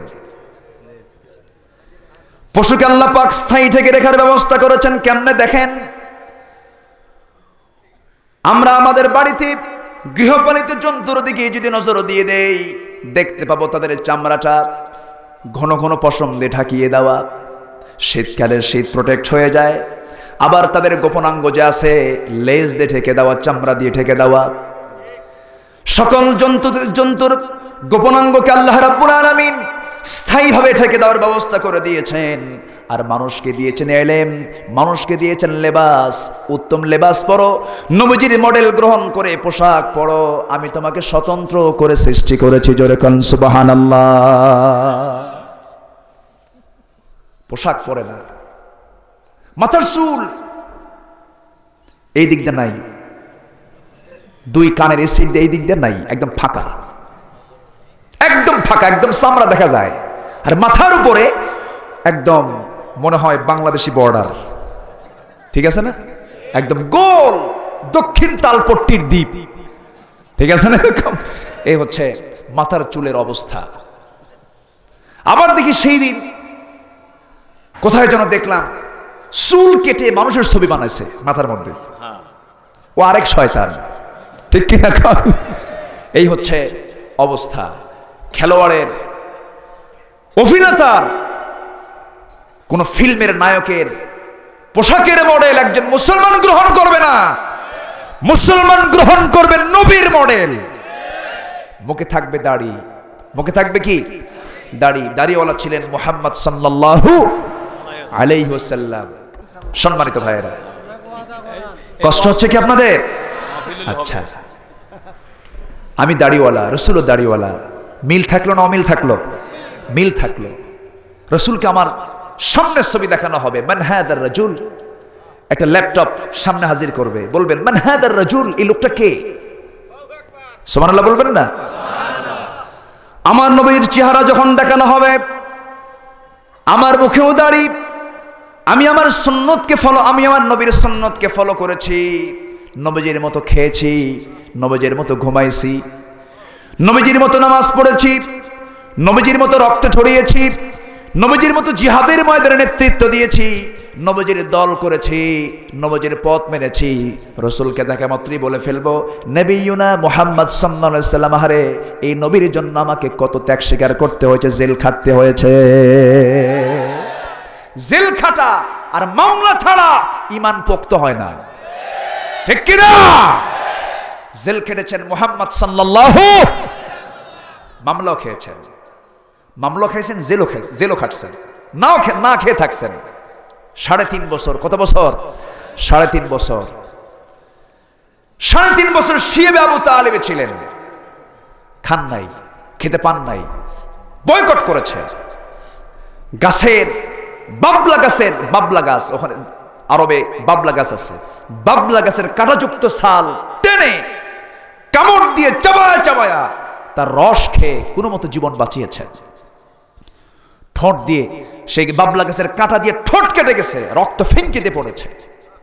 পায়খানাগুলো ছাগলের পায়খানার মতো কটকটা হয়ে গেছে। এত কষ্ট করেছেন ইসলাম ফুল সজ্জার উপর দিয়ে আসে নাই। ইসলাম এসেছে রক্ত আর ত্যাগের মধ্য দিয়া। সবাইকে জমিন আল্লাহর দিন কায়েম করতে রাজি আছেন? একামতে দিনের কাজ করতে গিয়ে প্রয়োজনে জানমাল কোরবান করে দেব। কারা কারা, দু হাত উঁচু করে দেখা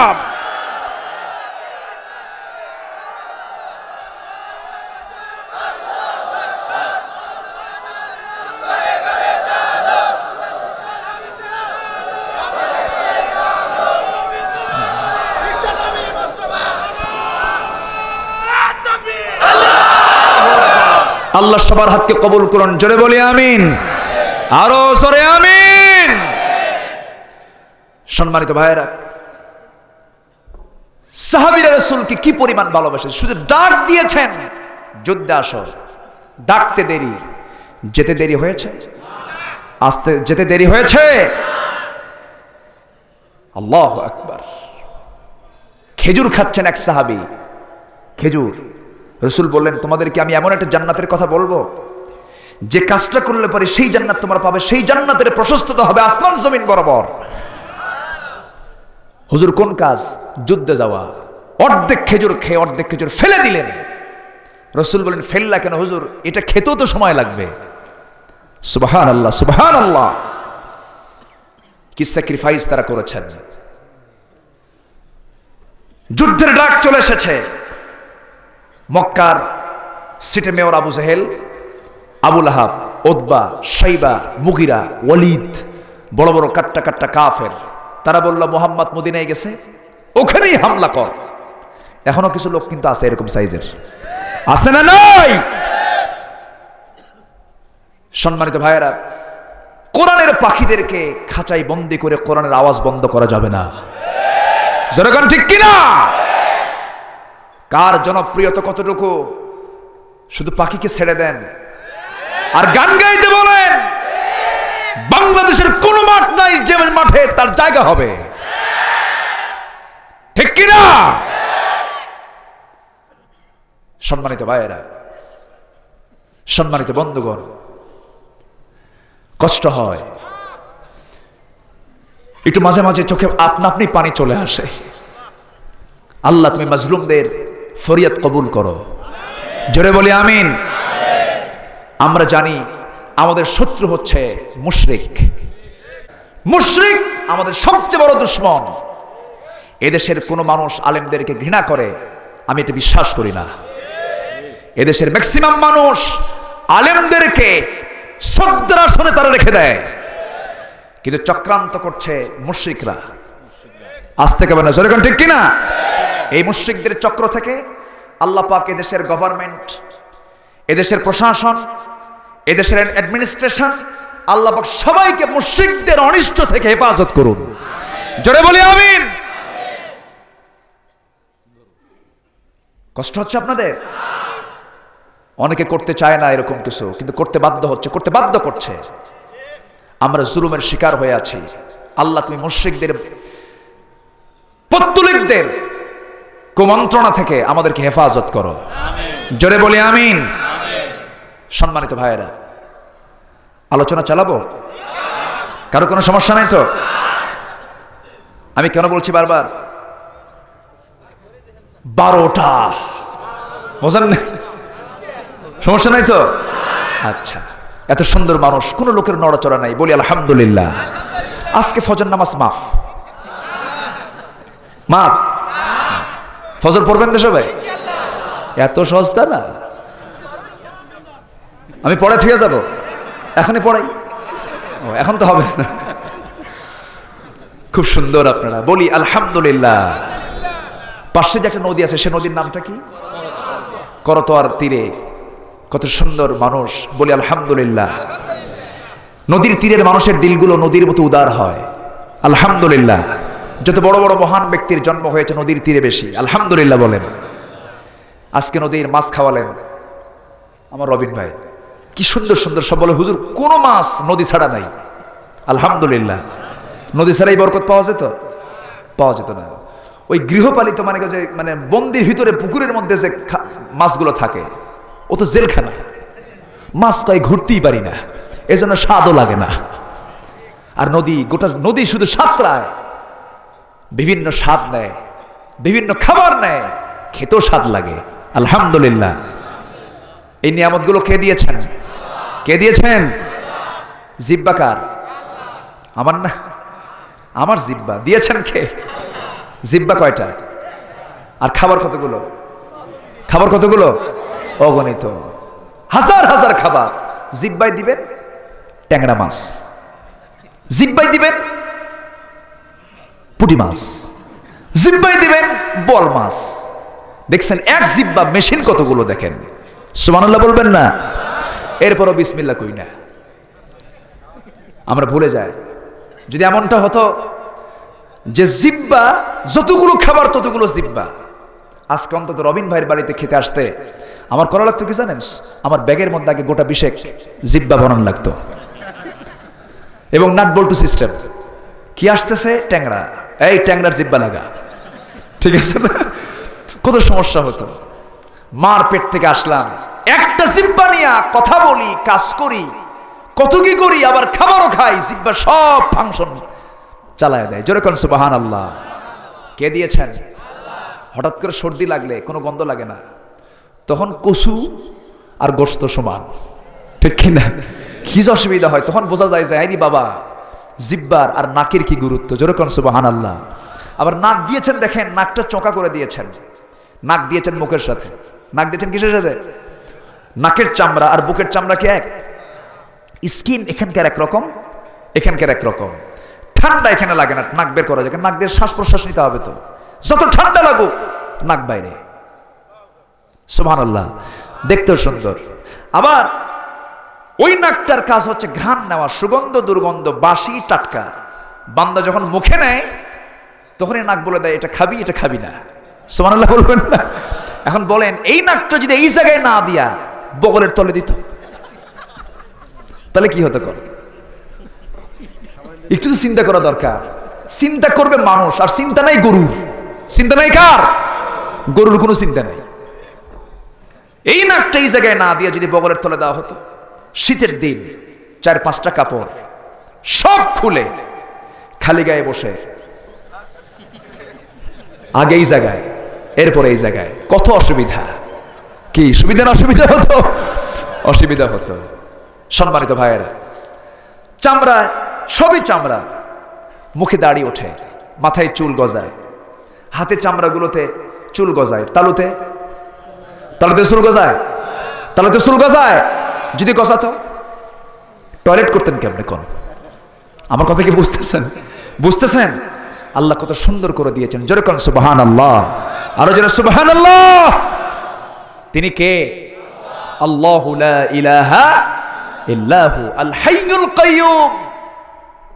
তিনি চিরঞ্জীব, তিনি চিরস্থায়ী। তার সমকক্ষ পৃথিবীর কেউ হতে পারে? আসতে বলবেন না, পারে সে আল্লাহকে আমি এক নাম্বার ভালোবাসবো। নাম্বার দুই, রাসূলকে ভালোবাসবো। রসুল যুদ্ধের ডাক দিয়েছেন ওদবা সাইবা মুগিরারা। রসুলকে মেরে ফেলার জন্য মক্কা থেকে সুদূর মদিনার অদূরে বদর নামক প্রান্তরে তারা হাজিরা দিয়েছে। এক হাজার সৈন্য নিয়ে তারা এসেছে। আমার রসুল যখন শুনতে পেয়েছেন, কাফিররা সবাই অ্যাটাক করেছে, মদিনার দিকে তারা রওনা দিচ্ছে। আমার রসুলের শিশু ইসলাম, কিছু সংখ্যক সাহাবিকে জড়ো করলেন, কিছু সংখ্যক সাহাবিকে জড়ো করে বললেন, সাহাবিরা আজকের এই যুদ্ধ হলো অস্তিত্বের যুদ্ধ। কারা কারা যাবে? নামটা লিস্ট দিয়ে দাও। কিছু সংখ্যক সাহাবি নবীর সামনে জড়ো হলেন? অস্ত্র নাই, খেজুরের ডাল দিয়ে দিলেন। এর মধ্যে ছোট্ট দুইটা বাচ্চা। সবার কম বেশি ইতিহাসগুলো জানা আছে। এরপর একটু মনোযোগ দিয়ে শুনুন। একটু হলো ইমানি তেজটা বাড়বে। আমার বন্ধুগণ মদিনার আফরার ছেলে দয় ছোট্ট দুইটা বাচ্চা, মাজ মজরাদি আল্লাহ হোমা আমার নবাজের সামনে দাঁড়িয়ে বলছেন ইয়ার সুরাল্লাহি নাম শুনেছে আবু জেহেল, আপনাকে নাকি খুব কষ্ট দিত, সে নাকি আপনাকে মারার জন্য আসতেছে মদিনার দিকে। আপনি যদি আমাদেরকে অর্ডার দিয়ে দিতেন, হে রাসূল, আমরা দুইজন মিলে আবু জেলকে দুনিয়া থেকে বিদায় করে দিতাম। আমার নবীজি এমন কথা শুনে আশ্চর্য হয়ে বলছেন, শোনো, ছোট্ট দুইটা বাচ্চা তোমরা তোমরা তার মোকাবেলায় কিছুই না, তোমরা পারবে না। ছোট্ট দুইটা বাচ্চা বলে, হুজুর, আমাদেরকে ছোট মনে ছোট মনে করেন কেন? ছোট হলেও গায়ের বাহুবল আস, হাতের শক্তি আছে। বড়জন বলে, হুজুর, আমার ছোট ভাই ছোট, ওকে না হয় অনুমতি দিয়েন না, অন্তত আমি ওর চাইতে বড় আছি। আপনি আমাকে পারমিশন দিয়ে দেন। ছোটজন বলে ইয়ার সুলাল্লাহি ও ভুল বলতেছে, শুধু লম্বা হয়েছে শক্তি তো আমার গায়ে। আমার নবীজি মজা করে বললেন, ঠিক আছে, তোমরা দুইজনই কুস্তি শুরু করে দাও, মারামারি শুরু করে দাও, দেখে কে পারে। দুজন লড়াই শুরু করলেন। বড়জন ষোড়জনকে নিচে ফেলে দিয়া ষোড়জনের বুকের উপরে বড়জন বসে আছে। ষোড়জন বড় ভাইয়ের চোখের দিকে চোখের ইঙ্গিত দিল চোখ টিমে মারলেন কানের দিকে মুখটা ঢুকায় নিয়ে বলছেন, ভাইরে, একসঙ্গে খাই, একসঙ্গে ঘুমাই, একসঙ্গে খেলাধুলা করি। আজকে তুমি আমাকে ছেড়ে একা জিহাদের ময়দানে যাবে, আমার কি শখ হয় না? তোমার গায়ের শক্তি একটু কমায় দাও, একটা বার তোমার বুকের উপর উঠে বুঝায় দেই, শক্তির দিক থেকে আমি তোমার চাইতে কোনো অংশ কম নই। আমার নবীজি ছোট্ট দুইটা বাচ্চাকে কোলের মধ্যে জড়ায় ধরে আকাশের দিকে তাকায় বলছেন আল্লাহ তাআলা, এই ছোট্ট দুইটা বাচ্চার নেক মাকসুদকে তুমি আল্লাহ দয়া করে মঞ্জুর করে নাও। কি নবীর মোহাব্বত? আবু জেহেল রসুলকে মেরেছি, তারা ছোট্ট দুইটা বাচ্চা রসুলকে সে আবু জেহেলকে মেরে ফেলবে। এই জজবানিয়া যুদ্ধের ময়দানে ঝাঁপিয়ে পড়লেন। ওই তিনশো তেরো জনের ভিতরে ছোট্ট দুইটা বাচ্চাও ছিলেন। যুদ্ধ শুরু হয়ে যাবে। আমার রসুল মদিনা থেকে রওনা দিয়েছেন। আশি মাইল দূরে বদরের প্রান্তর আল্লাহ পাক আমাকে সেখানে যাওয়ার তৌফিক দিয়েছেন। আমি গিয়েছি, জিয়ারা করেছি। চোদ্দ জন সাহাবীর শাহাদাত হয়েছে সেই জায়গায়। তেরো জনকে এক জায়গায় তাদেরকে দাফন করা হয়েছে। মুসলমানদের ইতিহাস এমন। দিন কায়েম করতে গিয়া সাহাবাকেরামকে পাহাড়ের চিপায় চিপায় রেখে তারা বাড়িতে ফিরেছে। ইসলামে তো সস্তায় আসে নাই। রক্তমাখা পিচ্ছিল পথ পাড়ি দিয়ে তারা একামতে দিনের কাজ করেছেন। আমার বন্ধুগণ, শেষ পর্যন্ত আমার সোল বদর প্রান্তর পর্যন্ত পৌঁছে গেলেন। অশ্বারোহী তেমন ছিল না। এক হাজার সৈন্য নিয়ে আবু জেলের সমস্ত বাহিনী তারা অস্ত্র শস্ত্র সজ্জিত হয়ে পাহাড় আরেক পাশে তারা শেল্টারে নিয়েছে। আমার নবী সাহাবাকরামকে নিয়ে যে স্থানে দাঁড়িয়েছেন, সেই স্থানটা ছিল বালুর পাহাড়। সেই বালুর পাহাড়গুলো এখনও সাক্ষী হয়ে আছে। বিশাল বড় পাহাড়, সেই বালুর পাহাড়ের পদদেশে রাসূল যখন দাঁড়ালেন সাহাবাকরামদের পা গুলো বালুর মধ্যে হাঁটু পর্যন্ত গেড়ে যাচ্ছে। হাঁটতে পারছেন না। সাহাবাকরাম বলছেন, ইয়া রাসূলুল্লাহি, আমরা যুদ্ধ করতে আসছি আল্লাহর পথে। আমাদের পা গুলো ডেবে যাচ্ছে। দারুণ কষ্ট পাচ্ছি। আমাদের কদম যদি মজবুত না হয়, আমরা যুদ্ধ করব কেমনে? রসুল সঙ্গে সঙ্গে হাত দুটো উঁচু করলেন, আল্লাহর দরবারে মদত কামনা করলেন। সঙ্গে সঙ্গে আকাশে ঘন মেঘ জমা হলো। ঘন মেঘ জমা হয়ে যখন বৃষ্টি শুরু হয়ে গেল, বালুর উপরে যখন পানি পড়ে, তখন বালুর জায়গা কি হয়ে যায়? শক্ত হয়ে গেল। ওইদিকে কাফেরদের জায়গা ছিল আঠাল মাটির জায়গা। বৃষ্টি যখন পড়া শুরু হলো, আঠাল মাটি কি হলো? পিছলা হয়ে গেল, কাদাযুক্ত হলো। ঘোড়ার পা পিছলে যায় কাফেরদের পা পিছলে চলে যায়। মুসলমানদের কদম মজবুত হয়ে গেল। যুদ্ধ যখন শুরু হয়ে গেল, যুদ্ধের এক পর্যায়ে সম্মুখ যুদ্ধ চলে আসলো। তিনজন কাফেরকে তিনজন সাহাবি জাহান্নামে পাঠায়া দিলেন। যুদ্ধ শুরু হয়ে গেল সম্মুখ যুদ্ধ। মুসলমান আগে মোকাবেলা করে না। মুসলমান আগে মুসলমান আগে হামলা করতে যায় নাই। মুসলমান মোকাবেলা করেছে। মুসলমান প্রতিহত করেছে।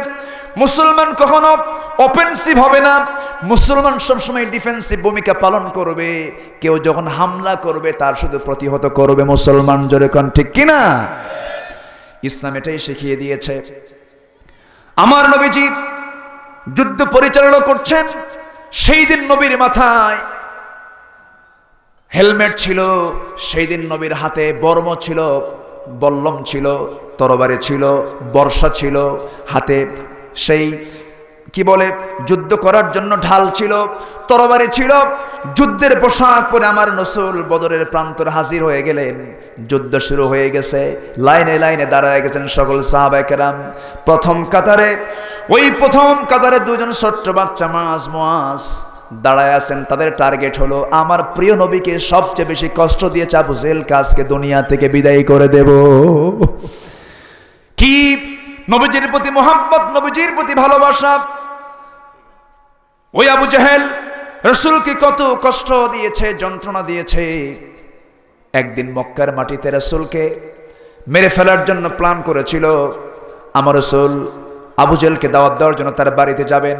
খাদিজা বলছেন, ইয়া রসুল্লাহ কোথায় যান? আবু জেলকে কালিমার দাওয়াত দিতে যায় কোথায় তার বাড়িতে? অসম্ভব যাওয়া যাবে না কেন? ভালো মানুষ না। ঘরের মধ্যে আপনাকে তুলে নিয়ে হত্যার প্রাণ পর্যন্ত করবে? এতে তার কষ্ট হবে না। আপনি যাবেন না, রসুল বললেন, আমাকে যেতে দাও, আল্লাহ আমাকে হেফাজত করবেন। রসুল চলে গেলেন, দরজায় নক করলেন। দরজায় নক করার সঙ্গে সঙ্গে দরজা খুলে দিয়া তার জুব্বাটা টান মেরে ঘরের মধ্যে উঠায় নিল আবু জেহেল। উঠায় নিয়ে উশৃঙ্খল সিলি পেলে দিয়ে লেলিয়ে দিল।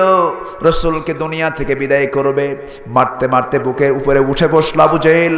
তরবারে দিয়ে মারবে। আবু জেহেল হাতটা অবশ হয়ে গেল। সাহায্য করলেন কে? আসতে বলবেন না কে? আস্তে করে সেই জায়গা থেকে উঠে আসলেন রক্তমাখা দেহ নিয়া জখমলা দেহ নিয়া। আমার নবজি খাদিজার সামনে দাঁড়ালেন। খাদিজার সামনে দাঁড়িয়ে বলছেন, খাদিজা, আবু জেল আমাকে জখম করে দিয়েছে। খাদিজা বলছেন, আমি আপনাকে মানা করেছিলাম। রসুল বলছেন, খাদিজা, এই যে জখমের চিহ্ন দেখতেছ, এই জখমের চিহ্নই প্রমাণ করে এই জমিন আল্লাহর দিন কায়েম হয়ে যাবে। যেরকম সুবাহান আল্লাহ কি মার খেয়েছেন রসুল? তাইফে এবার তাইফে গিয়েছিলাম, এই তো দু মাস আগেই। রসুলের প্রিয় স্থান ছিল তায়েফ। কেন জানেন? তাই হয়ে রসুল ছোট্টবেলায় উটের পিঠে চড়ে হালিমার সাথে চলে গেছেন তার বাড়িতে বনু সাদে। বনু সাদে কেটেছে তার পাঁচ বছর। কত বছর? পাঁচ বছর। পাঁচ বছর তিনি কাটিয়েছেন বনু সাদে। যে ঘরে তিনি ছিলেন, পাঁচটা বছর কাটিয়েছিলেন, সেই ঘর আমি দেখে এসেছি এবার। পাহাড়ের পাদদেশে ছোট্ট একটা পাথর দিয়ে মোড়ানো একটা ঘর। হয়তো ছয় ফিট বাই আট ফিট অথবা ছয় ফিট বাই দশ ফিট একটা ঘর। সেই ঘরটা আজও সাক্ষী হয়ে আছে। ওই জায়গায় থেকেছেন দীর্ঘ পাঁচটি বছর আমার রসুল সেই জায়গায় সময় কাটিয়েছেন। আমার নবীজি ওই বনু সাহাদির কথা মনে করলেন তায়েববাসীর কথা মনে করে আমার নবীজি একদিন তায়েফে রওনা দিলেন, দিনের প্রচার করতে গেলেন। তখনই যখন মক্কায় দাওয়াত দেওয়ার কোনো সুযোগ নাই, দল ব্যান করে দেওয়া হয়েছে, দাওয়াতি কাজ বন্ধ করে দিয়েছে।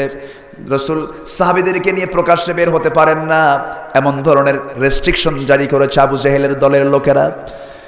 তায়েফের মানুষকে যখন গিয়ে বললেন কৌলুলা ইলাহা ইল্লাল্লাহ, এমনটা কথা বলার সঙ্গে সঙ্গে তায়েববাসী রসুলকে রিসিভ না করে তায়েফের মোড়লরা, মাতব্বররা নিজের আঘাত না করে যুবকদেরকে লেলিয়ে দিল। চোখা চোখা পাথর, চিকন চিকন পাথরগুলো নিয়া নবজির কমল দেহে যখন মারা শুরু করে দিল, মারার সঙ্গে সঙ্গে মাথার রক্তগুলো গড়ে গড়ে, গায়ের রক্তগুলো গড়ে গড়ে জুতার তলায় গিয়ে জমাট বাঁধলো। জমাটবদ্ধ সেই জমাটলা সেই জুতা, জায়দ হারিস টান দেন, খোলে না। জায়দ বিন হারিস বলছেন ইয়া রাসূলুল্লাহি। আপনাকে এত কষ্ট দিল, আপনি তাদের জন্য লানত করুন। রসুল বলছেন জায়দ রে, তারা বুঝে নাই, জানে না আমাকে মেরেছে, আমি তাদের জন্য লানত দেব না। জিব্রাইল বলেন, ইয়া রাসূলুল্লাহ, আপনাকে এত জুলুম করল, আল্লাহ বলে দিয়েছেন, আপনি যা বলবেন তাইবাসীকে আল্লাহ তাই করে দিবেন। রসুল বলছেন ওরে জিব্রাইল আমি কোনো কাউ কারোর জন্য বদ্ধ কামনা করি না। তবে একটা কথা জেনে রেখে দিও, জিব্রাইল, এরা বোঝে না, আমি এদেরকে মাফ করে দিলাম, জোরে কন সুবাহান রক্তমাখা দেহ নিয়া আমার নবীজি জমিনে উপর হয়ে পড়েছিলেন, হোঁশ ফিরে পেলেন, দৌড় মারলেন জঙ্গলের দিকে। মনে মনে ভাবলেন, আবু জেলরা জানলে আমি আমাকে আরও হেও করে ফেলবে। জঙ্গলটা অতিক্রম করে একটা আঙ্গুরের বাগানের সামনে গিয়ে দাঁড়ালেন। প্রচণ্ড ক্ষুধা লেগেছে, তৃষ্ণা পাচ্ছে, তার খাবার নাই, কিছু নাই। সেই জায়গায় গিয়ে দাঁড়ালেন। দাঁড়ানোর সঙ্গে সঙ্গে একজন দাস নবজির প্রতি দয়া করে এক গ্লাস আঙ্গুরের রস নবীর সামনে হাজির করল। রসুলকে খাওয়ার জন্য যখন বলে ফেলেছে, রসুল বিসমিল্লা বলে গ্রহণ করলেন, বসে বসে তা পান করলেন। পান করার পর রসুল ওই যুবকের দিকে, দাসের দিকে তাকিয়ে বলছেন, যুবক, তোমার নাম তার দাস এবার তিনি বলছেন, আমার নাম আদ্দাস, আপনাকে বলল কে? রসুল বলেন, তোমার গ্রামের বাড়ি কোথায়? নিনুহা নিনুয়া হল আমার গ্রামের বাড়ি।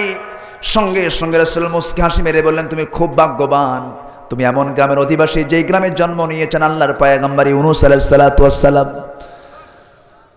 আদ্দাস বলতেছে, আমার গ্রামে আল্লাহর নবী উনুসের বাড়ি, আপনাকে সংবাদটা দিল কে? রসুল বলছেন, আরে ওরে আদাস, তুমি যার সঙ্গে দাঁড়িয়ে দাঁড়িয়ে কথা বলছো, সে হচ্ছে আলে, আরেকজন পায়গাম্বার মোহাম্মদ সাল্লাল্লাহু আলাইহি ওয়াসাল্লাম। আদাসের বুঝতে দেরি হলো না। আদাস খ্রিস্টানি কায়দায় সেজদা করতে গিয়া নবজির পায়ের কাছে যখন যাচ্ছিল, রসুল তার দুইটা হাত চেপে ধরে বলছেন, আদাস, একজন মানুষ আর একজন মানুষকে কখনো সেজদা দিতে পারে না। একজন মানুষ, আরেকজন মানুষকে কখনো সেজদা দিতে পারে না, কারণ আল্লাহর হক হচ্ছে, আল্লাহর হক আল্লাহর হক হচ্ছে বান্দাকে মাফ করে দেওয়া। আর বান্দার উপর আল্লাহর হক হলো বান্দা কখনো শিরিক করতে পারে, শিরিক করতে পারে। আল্লাহ বলেন, বান্দা, তুই শিরিক করবি না। তোর প্রতি আমার দায়িত্ব হলো, আমি তোকে জান্নাত দিয়ে দেব। আর তুই যদি শিরিক করিস, তুই যদি বেদাতের কাজ করিস, আমার দায়িত্ব হলো তোকে আমি জাহান্নাম দেব। ওয়াইন সারাকা ওয়াইন জানা যদি কেউ চুরিও করে, জেনাও করে, রসুল বলেছেন, শিরকের কাজে যদি না জড়ায়, আল্লাহ পাক তাকে মাফ করতে পারেন। আমার দেশে শিরিক আছে না নাই? আসতে কবেন না, আছে না নাই? আছে না নাই? আচ্ছা। কিছু কিছু ভণ্ড আছে, দুই ঠ্যাং সামনের দিকে দিয়ে রাখে। মুরিদরা এসে সেজদা দেয় পায়ে। উচিত ছিল পুলিশ দিয়ে ওই সমস্ত পা গুলো লাঠি দিয়ে পিটায় ভেঙে দেওয়া। ঠিক কিনা?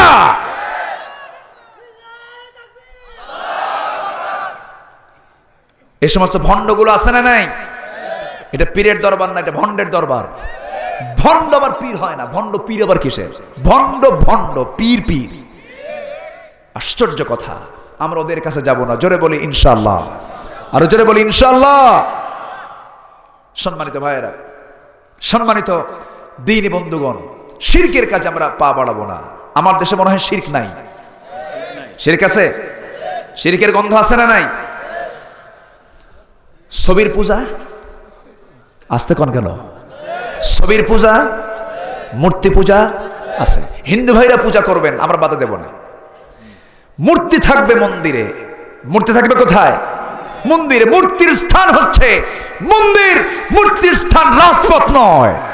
ঠিক কিনা? মূর্তি রাজপথে কেন? মূর্তি কেন রাজপথে থাকবে? আমার আব্বা যান আমাদের আব্বা, জাতির পিতা, কে? আসতে কন কেন ভাই? আওয়াজ দিয়ে কন কে? উত্তর বুঝে নেন। ইব্রাহিম আলাইসালাম তিনি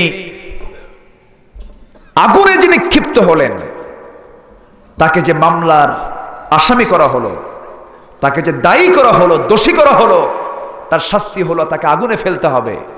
তিনি কি করেছিলেন? বানাইছিলেন না ভাঙছিলেন? বাপ বানায়, বেটা কি করে? ভাঙ্গে একদিন বাপ বলল, বাবা, আমি তো বুড়া মানুষ। এই ঝাঁকা তুলতে আমার খুব কষ্ট হয়, ঝুড়িটা তুমি নিয়ে আসো। কাপ আপনি যান, আমি আসতেছি। সব মূর্তি মাথা ভাঙছেন। মাথা ভেঙ্গে সবগুলো মূর্তি, ভাঙ্গা মূর্তিগুলো মাথার মধ্যে, ঝুড়ির মধ্যে নিয়ে আব্বার সামনে বাজারে নিয়ে হাজির করে বলছে আব্বাই যে নাও। বাপ কয় বাজান এগুলো করছ কি? একটার মাথাও তো ঠিক নেই। সব মূর্তির মাথা নাই। কাব্বা দোষ আমারে দিয়া লাভ নাই। এই মূর্তিগুলো যখন আমি মাথায় তুললাম, কি যে ওদের মাথায় শুরু হলো গন্ডগোল। চরম গন্ডগোল, মারামারি, অরে মারামারি। মারামারির ঠেলায় ওরা ওরা মাথা ভাঙছে, আমার কোনো দোষ নাই। কি কথা কি গেল এখন বাপ মনে মনে কয়, বেটা, তো চালা কি করল? যদি আমি কই, ওদের তো মারামারি করার যোগ্যতা নাই যোগ্যতা যখন মারামারির নাই, তো ওর পূজা করে লাভটা কি? কি কথা কি বুঝতেছেন?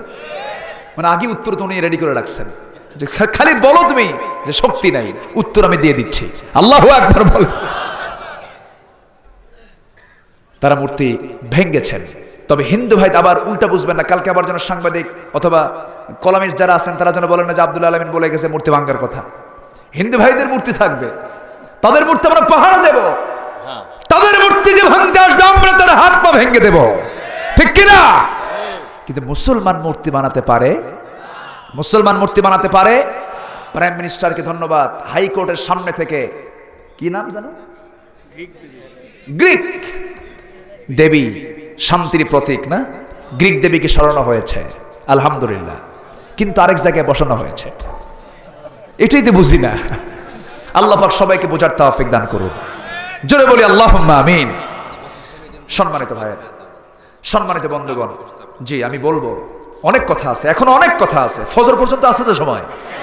সমস্যা কি? আচ্ছা সম্মানিত ভাইয়েরা, কি মোহাম্মত ছিল নবীদের প্রতি, নবীর প্রতি সাহাবিদের? যুদ্ধের ময়দানে মাজ মাজ তালাশ করছেন আইন আবু জাহেল। আবু জেহেল কই? তালাশ করতেছে। তালাশ করতে করতেই একজন সাহাবিকে ডেকে বলছে, এই সাসা আবু জেল কই? কেন কি হয়েছে নাস্তা করব। কি, আমার কথা কি বুঝতেছেন? কি করব? নাস্তা করব। খাইয়ে ফেলাবো। টুকরো টুকরো করব। সাহাবি আতঙ্কে বলে, তোমরা ছোট মানুষ, তোমরা কি করবা? ছোট হই আর বড় হই, আগে দেখা। আল্লাহ একবার বলেন। বিজয়ের জন্য শক্তি দরকার না সাহস দরকার? বিজয়ের জন্য শক্তি দরকার না, সাহস দরকার? সাহস এবং এক নম্বর হলো ইমান। এক নম্বর কি? ইমান। সম্মানিত ভাইয়েরা, শুধু বলে দিল যে ওই যে ঘোড়ার পিঠে বসে আস। বলতে দেরি। বাস পাখির মতো উড়ন্ত হয়ে ছুটে চলছে তার দিকে। কোনো ভয় নাই। সুবাহান আল্লাহ নবীর মোহাব্বত কাকে বলে? দৌড় মেরে আবু জাহেলের দুই পাশে গোপনীয়তা অবলম্বন করল দুজন। বুঝতে দিল না আমরা কোন দলের মানুষ। তরবারি হাতে নিয়ে দাঁড়ায় আছে পজিশন খুঁজতেছে কেমনে মারবো আমরা। যখন সুযোগ পাইছে, আল্লাহ আকবার বলে দুই পায়ে মেরে দিয়েছে। আবুজেল ঘোড়ার পিঠ থেকে ধরা সহিয়ে জমিনে পড়ে গেছে। আর কোমর সোজা করে আবুজেল দাঁড়াতে পারে নাই। কিন্তু ছোট্ট দুইটা বাচ্চার ভিতরে বড় ভাই কাফিরদের নিয়ন্ত্রণে পড়ে গেছে। আর বের হওয়ার সুযোগ পেলেন না তিনি। একজন কাফির পিছন দিক থেকে সে তার ডান হাতে যখন তরবারি মেরে দিয়েছে, এক আগাতে তার ডান হাতটা চামড়ার সঙ্গে ঝুলতে লাগল। চট করে বাম হাতে তরবারি নিয়ে নিলেন, বাম হাতে তরবারি নিয়ে যুদ্ধ চালালেন, থামলেন না। যুদ্ধ চালাতে চালাতে, যুদ্ধ চালাতে গিয়ে তরবারে চালাতে গিয়ে দেখতে পাচ্ছেন, ডান হাতের ঝুলন্ত হাতটা এসে বাম হাতে ধাক্কা খায়। যুদ্ধ করতে ডিস্টার্ব হচ্ছে মনে করে। ডান হাতের ঝুলন্ত হাতটা বাম পারে তলে রেখে এমন জোরে টান মারলেন। হাত সিটকে পড়ে গেল। বাম হাতেও যুদ্ধ চালালেন। বাম হাতও কেটে ফেলে দিল। তরবারে ঝনঝন করে পড়ে গেল। হাত শূন্য। বড় ভাই সামনে তাকানো। পেছন দিক থেকে একজন তরবারে দিয়ে তার পিঠ যেতে মেরে দিল। মস্তকটা উড়ায় দিল। দুনিয়া থেকে বিদায় হয়ে বুঝায় দিলেন, ও দুনিয়ার মানুষেরা ইসলামের জন্য, দিনের মোহাব্বতের জন্য দিনটাকে গ্রহণ করার জন্য আল্লাহর পথে জীবনটা এমন করেই দিতে হয়। জোরে কনসুবাহান আল্লাহ ভালোবাসা চার প্রকার। কয় প্রকার? চার প্রকার। আল্লাহর নবীর। আরেকটা হচ্ছে বাপ মার মোহাব্বত। আরেকটা হচ্ছে দিনই মোহাব্বত। দিনই মোহাব্বত চার জরুরত। আজকের সমাজে আসে না নাই বলেন তো? আশিদ্দা ও আলাল কুফার রুহামা ওল্লাদিনা আমানু, যারা ইমানদার তারা সবচেয়ে বেশি ভালোবাসবে আল্লাহকে, রসুলকে। এরপর পরস্পর মমিনরা হবে ঢালা প্রাচীরের মতো, একতাবদ্ধ, মোহাব্বতের প্রাচীর হবে খুব মজবুত। জোরে কোন সুবহান আল্লাহ আল্লাহ পাক বুঝার তৌফিক দান করুন। জোরে বলি, আমিন। রসুলকে আমরা ভালোবাসবো। রসুলকে আমাকে ভালোবাসেন নাই? আসতে ভালোবাসেন নাই? ভালোবাসেন নাই? বেসেছেন। খুব ভালোবেসেছেন। মদিনায় শুয়ে শুয়ে আমার জন্য কাঁদতেছেন। সুবহান আল্লাহ সবাইকে রসুলকে দেখতে চান স্বপ্নে? সবাইকে স্বপ্নে দেখতে চান? সবাইকে স্বপ্নে দেখতে চান? দরুদ পড়ব বেশি করে, জোরে বলি ইনশাল্লাহ দরুদ বেশি পড়লে রসুলকে দেখা যায়। একটা লোক নড়বেন না, একটু ওঠার প্রবণতা শুরু হয়েছে। স্বাভাবিক, অনেক দূর থেকে এসেছেন, কেউ উঠবেন না। যার আব্বা আম্মার জন্য দরদ কম, তিনি যেতে পারেন। আর যার দরদ আছে তিনি দোয়া করে যাবেন। রব্বির হামহুমা কামা রব্বাইয়ানি সাগীরা। কেউ যাবেন না, সবাই বসবেন। দোয়ার দরকার নাই কার? বলেন দোয়ার দরকার কার? আমরা দোয়া করে যাব। কেউ দোয়া না করে আমরা কেউ যাব না। জোরে বলি ইনশাল্লাহ রসুল আমাকে কেমন ভালোবাসছেন দেখেন। রসুল মারা যাচ্ছেন। মমূর্ষ অবস্থা কাতরাচ্ছেন। শুয়ে আছেন। আয়েশা বলেন, হুজুর, আপনি তো মুমূর্ষ অবস্থা। আপনি কিছু কথা বলুন, আমি কিছু কথা শুনি। রসুল তাকে অনেক কথা অনেকগুলো কথা বলছিলেন। কথা বলতে বলতে এক ফাঁকে রসুল মারা যাবেন। তিনি বললেন, একটু ফাতিমাকে ডাক দাও তো। ডাক দেওয়া হলো। ফাতিমা রাদি আল্লাহ নবীর সামনে দাঁড়ানো মাত্রই ফাতিমা হু হু করে কেঁদে ফেললেন। ফাতিমার কান্না দেখে রসুলের চোখের পানি চলে আসলো। রসুল বলছেন, ফাতিমারে, তোর কান্না আমার দারুণ শেল বেঁধে যায়। এইদিকে আয় তুই। কানের মধ্যে মুখ ঢুকিয়ে কানে কানে বললেন, চিন্তা করবি না রে ফাতিমা, আমার মৃত্যু হলে পরে তোরও মৃত্যু কিছুদিন পরে হয়ে যাবে। নবীজির কথা একদম লেগে গেল। ছয় মাসের মাথায় ফাতিমাও দুনিয়া থেকে বিদায় হয়েছিলেন। রসুল বললেন, তোমার সঙ্গে আমার কবর কবর বা কবরের জিন্দগিতে একসঙ্গে তুমি আমার সঙ্গে থেকে যাবে। ফাতিমার কান্না থেমে গেল। নবজি মৃত্যুর জন্য রেডি হয়ে গেলেন। ফাতিমা নবীর কাছ থেকে হাসি মুখে বিদায় হয়ে দরজার কাছে চলে গেলেন। দরজার কাছে যাওয়া মাত্রই দরজা খুলে দেখলেন সামনে যেন কে দাঁড়ানো। কেউ দাঁড়ানো নয় সেই দিন মালাকুল মৌত ফাতিমার সামনে সাক্ষাৎ করেছেন। আসমান জমিন বরাবর অদ্ভুত একটি চেহারার ফেরেশতার সামনে দাঁড়ানো। ভয় দরজা লাগায় দিলেন। রসুল বলছেন, ফাতিমা, দরজা লাগাও, কোন আব্বাকে যেন দাঁড়ানো আছে। রসুল বলছেন, ফাতিমা রে, যার ভয়ে দরজা লাগাও, সে তো দুনিয়ার কেউ না। মালাকুল মৌত আমার ভাই আজরাইল হাজির হয়ে গেছে। আমার যান কবচ হয়ে যাবে। দরজা খুলে দাও, আসার জন্য দরজার দরকার হয় না, জানালার প্রয়োজন হয় না। লা ইয়াস্তাখিরুনা সাআতান ওয়া লা ইস্তাকদিমুন আমার জানটা কবজ হয়ে যাবে, মারা যাব। মালাকুল মউত নবীর সামনে দাঁড়ালেন। সালাম বিনিময়ে করে আসতে করে বসে বলছেন, হজুর, পৃথিবীর শুরু থেকে আজ পর্যন্ত বহু প্রাণীর যান কবজ করেছি।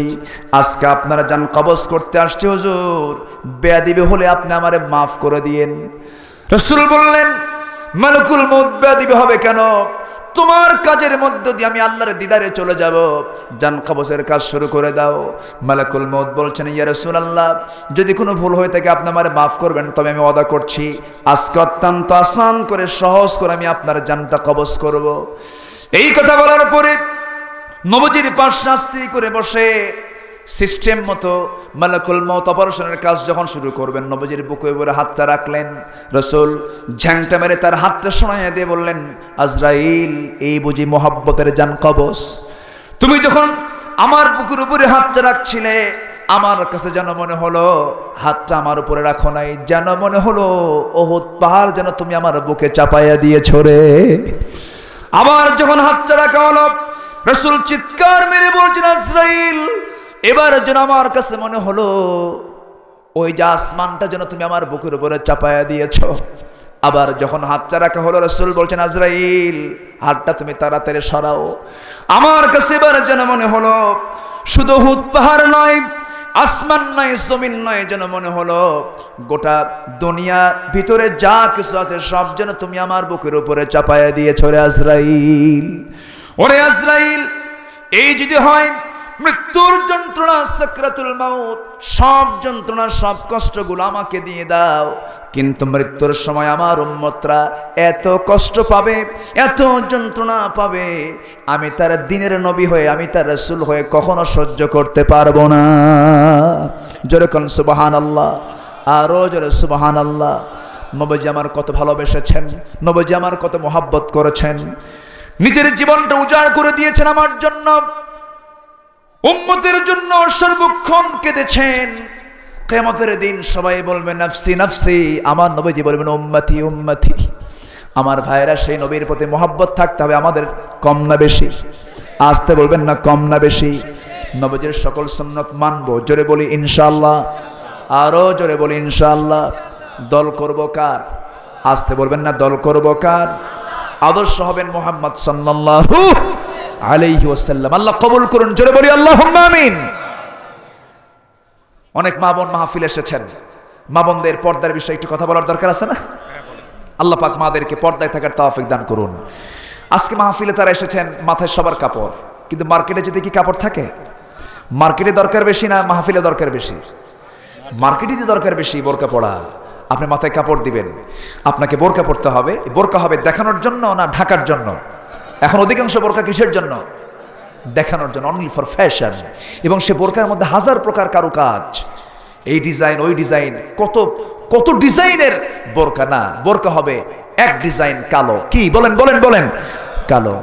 কাকের মতো যেন দেখা যায়। এমন জাতীয় বোরকা আপনি পড়বেন এটা ফ্যাশনের জন্য নয়, এটা হবে হচ্ছে পরপুরুষের আকৃষ্ট থেকে নিজেকে বিরত রাখার জন্য, নিজেকে আড়াল করার জন্য এই বোরকা আপনাকে পড়তে হবে, আল্লাহ পাক এমন জাতীয় মানে মার্জিত বোরকা পরার তাওফিক আল্লাহ পাক এই এলাকার মাদেরকে দান করুন। জোরে বলি আল্লাহ আমিন। আচ্ছা এরপর সমাজে কিছু কিছু বিষয় আছে। মদ, কিছু কিছু যুবকরা মাদক, মাদকাসক্ত হয়ে পড়েছে। মদের যে সয়লাভ খুন কেন বেড়েছে? মদ কিন্তু একটা বিশাল ভূমিকা পালন করে। আল্লাহ পাক এই মাদকতা মাদক এই মাদকের শক্তি থেকে এই যুব সমাজকে আল্লাহ পাক হেফাজত করুন। জোরে বলি আল্লাহ আমিন। তবে মদের ব্যাপারে যদি ওয়াশ করতে হয়, আগে ওয়াশ করতে হবে, মদের আইন আগে বন্ধ করা দরকার। আজ থেকে মানে জোরে ঠিক কিনা? বিড়াল পড়েছে কূপের ভিতরে। আগে বিড়াল তুলবো না পানি তুলবো? আগে বিড়াল তুলতে হবে, মরা বিড়াল আগে তুলতে হবে, এরপরে পানি পরিষ্কার করতে হবে। এখন মদের আইন থুইয়া, মদের আইন পাশ করে যদি আমরা মদের বিরুদ্ধে কথা বলি মত বন্ধ হবে না। তবে হ্যাঁ মদের বিরুদ্ধে আমাদের সজাগ ভূমিকা পালন করতে হবে। আমরা মদ থেকে যুবকদেরকে বিরত রাখার চেষ্টা করব এবং সচেতনতা আমরা বাড়ায় ফেলব। জোরে বলি ইনশাল্লাহ আচ্ছা এরপর একটু আমাকে বলা হয়েছে যে আপনার এই বিশাল ময়দানে এইগুলো কথাগুলো একটু বলা দরকার। বিয়ের ব্যাপারে আমার দেশে বাল্য বিবাহের একটা প্রচলন আছে। মানে অযাচিতভাবে, অনাকাঙ্ক্ষিতভাবে দেখা যায় এই সমস্ত কাজগুলো করার মধ্য দিয়ে সমাজে অকল্যাণ ছড়িয়ে পড়ে। এটা আছে না নাই বলেন তো? আচ্ছা এবং বাপমার অনুমতি ছাড়া বিয়ে হয়, এমন আছে না নাই? আছে এটাও কিন্তু জায়েজ না, এটা হারাম। আল্লাহ পাকে হারাম কাজ থেকে আমাদেরকে পরহেজ রাখুন। সাম্প্রদায়িক সম্প্রীতি। সাম্প্রদায়িকতা আমার দেশে নাই। সাম্প্রদায়িক সম্প্রীতি আছে কারণ যেভাবে বৌদ্ধ দ্বারা আমার রোহিঙ্গার মুসলমানদেরকে মারতেছে, আমার দেশের যে আট নয় লক্ষ বৌদ্ধ আছে, এগুলো তো নাস্তা হয়ে যাওয়ার কথা। আসতে কন কেন? জোরে কন, ঠিক কিনা? একটা বৌদ্ধের গায়ে কি আমরা হাত দিয়েছি? সাম্প্রদায়িক সম্প্রীতি আমরা বজায় রাখি। আলহামদুলিল্লাহ বলেন। আমার দেশে মুসলমান বেশি। আহমেদাবাদে ভারতবর্ষে এমন কোন সময় নাই যে সময় মুসলমানরা ওই দেশের সংখ্যাগরিষ্ঠ হিন্দু কর্তৃক নির্যাতিত হয় না। জুলুমের শিকার হয় না, পুড়ে মেরেছে মুসলমানদেরকে। আমার দেশের হিন্দু ভাইরা জামায় আদরে থাকেন। আলহামদুলিল্লাহ বলেন, আমার দেশের হিন্দু ভাইদের সম্মান আমরা দিয়েছি অনেক, এমনকি প্রধান বিচারপতি। আমাদের যিনি হয়েছিলেন, হয়তোবা তাকে আজকে পাগল বানানো হয়েছে। একটা লোক পাগল হয়ে গেল, খুব অল্প সময়ে। কেমনে যে পাগল হলো আল্লাহ জানে। আচ্ছা। তো যাই হোক, এখন কি বুঝলেন তারা? হঠাৎ করে এই লোকটাকে পাগল বানায়া দেশও ছাড়া করছে নাকি? দেশে আছে নাকি? দেশেও তো ভাই আচ্ছা আসছে মনে হয়। তো যাই হোক কি বলব? তা আমরা আমরা আমরা সাম্প্রদায়িক সংঘাত চাই না, আমরা সাম্প্রদায়িক সম্প্রীতি চাই, মহাব্বত চাই, ভালোবাসা চাই। আলহামদুলিল্লাহ বলেন। আচ্ছা জঙ্গিবাদ। জঙ্গিবাদ, এই বিষয়টা আমার দেশে একটু গন্ধ গন্ধ মনে হয়, অবশ্যই গন্ধ। যারা সন্ত্রাস করে, যারা বোমাবাজি করে, যারা সন্ত্রাসী ভূমিকা পালন করে, ইসলাম কায়েম করতে চায় তারা অবশ্যই জঙ্গি। ওদের সঙ্গে ইসলামের কোনো সম্পর্ক নেই। আল্লাহ পাক এই সমস্ত বিষয় বোঝার তৌফিক দান করুন। জোরে বলি আল্লাহ আমিন। সম্মানিত ভাইয়েরা, অনেক রাত হয়েছে। আজকে যতটুকুন হয়েছে বলি, আলহামদুলিল্লাহ। জোরে বলি, আলহামদুলিল্লাহ। আমি মনে হয় এবছর যত জায়গায় কথা বলেছি, আজকে চেষ্টা করেছি একটু বেশি সময় নিয়ে কথা বলার। তবুও আমার অনেকগুলো কথা থেকে গেল আরও তিন দিন হলে পরে আমি মজা করে বলতে পারতাম। আমি যে নোট নিয়ে হাতে আজকে আলোচনায় উঠেছি সেই নোটের কেবল বারান্দা মানে কেবল বারান্দায় উঠলাম, ঘরের ভিতরে এখনও যাই নাই। আজকে যতটুকুন হয়েছে বলি আলহামদুলিল্লাহ, জোরে বলি আলহামদুলিল্লাহ। যে যেখানে আছেন, সবাই বসবেন। আমরা এই মুহূর্তেই দোয়ার দিকে চলে যাব। সবাই নিরাপদে বাড়িতে ফিরবেন, এই আশা কামনা করি। অনেক সময় দেখা যায় মাহফিল এসে রাস্তায় দুর্ঘটনার কবলে পড়েন। এরকমও হয়ে যায়। আল্লাহবাক সবার নিরাপদ সফর আমরা কামনা করি। আল্লাহবাক সবাইকে নিরাপদে বাড়িতে ফিরে যাওয়ার তৌফিক দান করুন। আমরা দ্রুত দোয়ার দিকে চলে যাব। সবাই নামাজের সুরতে বসেন। দুটো বই এখানে আছে। একটা হচ্ছে আমারই সংকলন করা বই, প্রশ্নোত্তর। অনেক প্রশ্ন আমাদের মাহফিল এসে জমা হয়। সব প্রশ্নগুলো আমি এক জায়গায় করে একদিন বসে, একদিন না, বারবার বসে, অনেক সময় ক্ষেপণ করে কিছু বই, একটা বই আমি বাড়ি বের করেছি। প্রশ্ন আপনারা করেছেন, সে উত্তরগুলো আমি লিখেছি। এই প্রশ্নোত্তর সম্বলিত একটা বই, এর মধ্যে ইমান সম্বলিত, ইসলাম সম্বলিত একটা সংকলন প্রশ্নোত্তর। আপনারা পাবেন মুসলিম জীবনের গুরুত্বপূর্ণ জিজ্ঞাসা এবং তার জবাব, ইসলামিক নলেজ এটা পাবেন। এবং আমার মৃত্যুর পর আমরা জান্নাত চাই না জাহান্নাম চাই? সেই জান্নাতটা কেমন হবে? তার দরজা কেমন হবে? বিল্ডিংটা কয়তলা হবে? বিল্ডিংয়ের দরজাগুলো কেমন সাইজের হবে? কোন স্টাইলের হবে? জান্নাতের নিয়ামত নিয়ে একটা বই আমি সংকলন করেছি এটা আপনারা সংগ্রহ করতে পারবেন। মোনাজাতের পর। আসুন আমরা এখন চাইব সোজা। কার দরবারে? সবাই বলে আস্তাগফিরুল্লাহ। রব্বি মিন কুল্লি। আতুবু ইলাইহি। ওয়ালা হাওলা ওয়ালা কুওয়াতা ইল্লা বিল্লাহিল আলিয়্যিল আযীম। জোরে বলুন হে আল্লাহ আমার জীবনের সাগীরা কবিরা ছোট বড় সকল গুণা তুমি আল্লাহ মাফ করে দাও জোরে বলুন ইয়া রব্বাল আলামিন ইয়া রব্বাল আলামিন আল্লাহুম্মা আমিন اللهم امين ربنا ظلمنا أنفسنا وإن لم تغفر لنا وترحمنا لنكونن من الخاسرين ربنا لا تزغ قلوبنا بعد إذ هديتنا وهب لنا من لدنك رحمة إنك أنت الوهاب আয় আল্লাহ তাআলা গভীর রাত নিঝুম রাত জীবাণু রাত্রিতে তোমার হাজার হাজার মুসলমান নরনারীকে নিয়ে এই শাহজাদপুরের সরকারি কলেজ ময়দানে তোমার আকাশের নিচে বসে এই মধ্যরাত্রিতে কাঙ্গাল ফিকেরের মতো দুটো হাত পেতে আছে আল্লাহ। গুনার দিকে নজর দিও না। বান্দা মনে করে তামাম জিন্দগির সমস্ত গুণাগুলোকে তুমি আল্লাহ আমাদের মাফ করে দাও। আয় আল্লাহ তাআলা, আমরা জানি আমাদের গুণা যত বড়, তোমার রহমত তার চেয়ে অনেক বেশি বড় আল্লাহ। গুনার দিকে নজর দিলে আমরা ধ্বংস হয়ে যাব। গুনার দিকে নজর দিও না। বান্দা মনে করে, তুমি রব, আমাদেরকে মাফ করে দাও। দুটি হাত যখন তুলে রাখি, আব্বা আম্মার কথা মনে পড়ে যায় রে। কত রাত আমার মাকে ঘুম পাড়তে দেই নাই কে কে করে কেঁদে কেঁদে মার ঘুম নষ্ট করে দিয়েছি। এই শীতের রাতে ঘন ঘন পেশাব পায়খানা করে দিয়েছি। মা আমার সুইপারের মতো আমার পেশাব পায়খানাগুলো পরিষ্কার করে দিয়েছেন। আমাকে ঠান্ডা লাগাতে দেন নাই। হঠাৎ করে জ্বর এসেছি। গোটা রাত মা চোখের পানি ফেলে ফেলে আমার শেওরে বসে বসে আমার কপালে জলপট্টি করে দিয়েছেন। হো আল্লাহ, মার দুধ পান করে করে মার রক্তগুলো চুষে চুষে শেষ করে দিয়েছি। সেই মা যারা চলে গেলেন। জিন্দগির গুণাগুলো মাফ করে দাও, কবরগুলোকে জান্নাতের টুকরা বানাইয়া দাও। ও আল্লাহ, এমন ভাই আমার সঙ্গে হাত তুলতে পারেন, যিনি নিজের হাতে নিজের মাকে দাফন করেছেন, নিজের বাবাকে দাফন করেছেন, নিজের মায়ের লাশ নিজের পিঠে বহন করে কবর পর্যন্ত নিয়ে চলে গেছে। আল্লাহ গো সে আব্বাম্মা যারা চলে গেলেন, জিন্দগির গুণাগুলো মাফ করে দিও। কবর গুলোকে জান্নাতের বাগিচা বানাইয়া দাও। সবাই চক্ষু বন্ধ করে আল্লাহর শেখানো দোয়া পড়ে। প্রাণ খুলে সবাই বলুন, রব্বির হামহুমা কামা রব্বায়ানি সগীরা।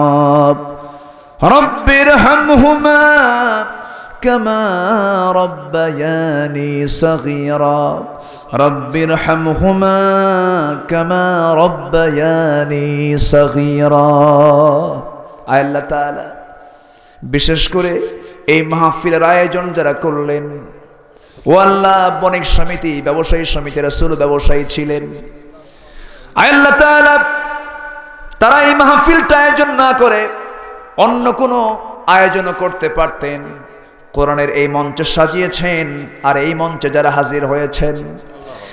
বিনিময় কাল কিয়ামতের দিন যেদিন পিতা তার পুত্রকে চিনবে না, মা তার সন্তানকে বলে যাবে, যেদিন মানুষ কাঁদতে কাঁদতে চোখের পানিগুলো পড়ে যাবে, চোখ থেকে রক্ত বের হওয়া শুরু হয়ে যাবে।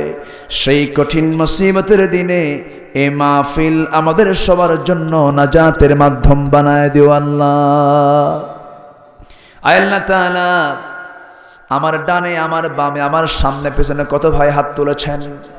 সবার নাম তো আমার জানা নাই, কিন্তু তোমার তালিকায় সবার নাম লেখা আছে। আল্লাহ এমন তালিকায় নাম দিও না, যে তালিকায় নাম রাখলে জাহান নাম হবে। আল্লাহ গো, তোমার পছন্দের বান্দাদের কাতারে আমাদের নামটাকে সামিল করে দিও। আল্লাহ রবিনা কুন্তুবাই তার মেয়ের জন্য দোয়া চেয়েছেন। সবচেয়ে বড় বেদনা, বাবার আগে যদি সন্তান অসুস্থ হয়ে যায়, আল্লাহ গো মেহরবানি করে তার মেয়েটাকে সে হাতে কল্লিয়া দিয়া দাও। আয় আল্লাহ তাআলা, এমপি মহোদয় তার স্ত্রীর জন্য দোয়া চেয়েছেন। থাইল্যান্ড পর্যন্ত চিকিৎসার জন্য গিয়েছেন। আল্লাহ, সকল চিকিৎসকের বড় চিকিৎসক তুমি আল্লাহ। মেহরবানি করে স্বপন এমপি সাহেবের স্ত্রীকে তুমি আল্লাহ হাতে কল্লিয়া দান করো। আয় আল্লাহ তাআলা, অনেকে অনেক প্রকার অসুস্থ আছেন, মনে মনে আল্লাহর কাছে চেয়ে নেন, যার যা চাওয়া তুমি আল্লাহ পাওয়া করে দিও, যার যার সমস্যা তুমি আল্লাহ সমাধান করে দিও। রোগাক্রান্ত থেকে রোগ মুক্ত করো, ঋণগ্রস্ত থেকে ঋণ মুক্ত হওয়ার তৌফিক দিয়ে দাও। এক কথায়, যার যার সমস্যা তুমি আল্লাহ দয়া করে সমাধান করে দাও। এই সমিতির এই শাহজাদপুরের প্রত্যেক ব্যবসায়ী তুমি আল্লাহ বরকত দিয়ে দাও। সমস্ত ব্যবসায়ীদের ব্যবসায়ী তুমি আল্লাহ হালাল রুজু উপার্জন করার তৌফিক দিয়ে দাও। একজন সৎ ব্যবসায়ী, আর তোমার রসুল বলেছেন, একজন সৎ ব্যবসায়ী আর আমি রসুল জান্নাতের মধ্যে দুই নখের দূরত্ব অবস্থান করব। এমন সুন্দর হালাল ভাবে ব্যবসা করার তৌফিক তুমি আল্লাহ শাহজাদপুরের বণিক ভাইদেরকে করে দাও। আল্লাহ তাআলা, তোমার বান্দাগুলোকে নিয়ে এমন সময় হাত তুলেছি, যে সময়টা দারুণ মুসলমানদের জন্য দুর্দিন। রোহিঙ্গার পাশে আজকে কেউ নাই, কাশ্মীরের পাশে আজকে কেউ নাই রে।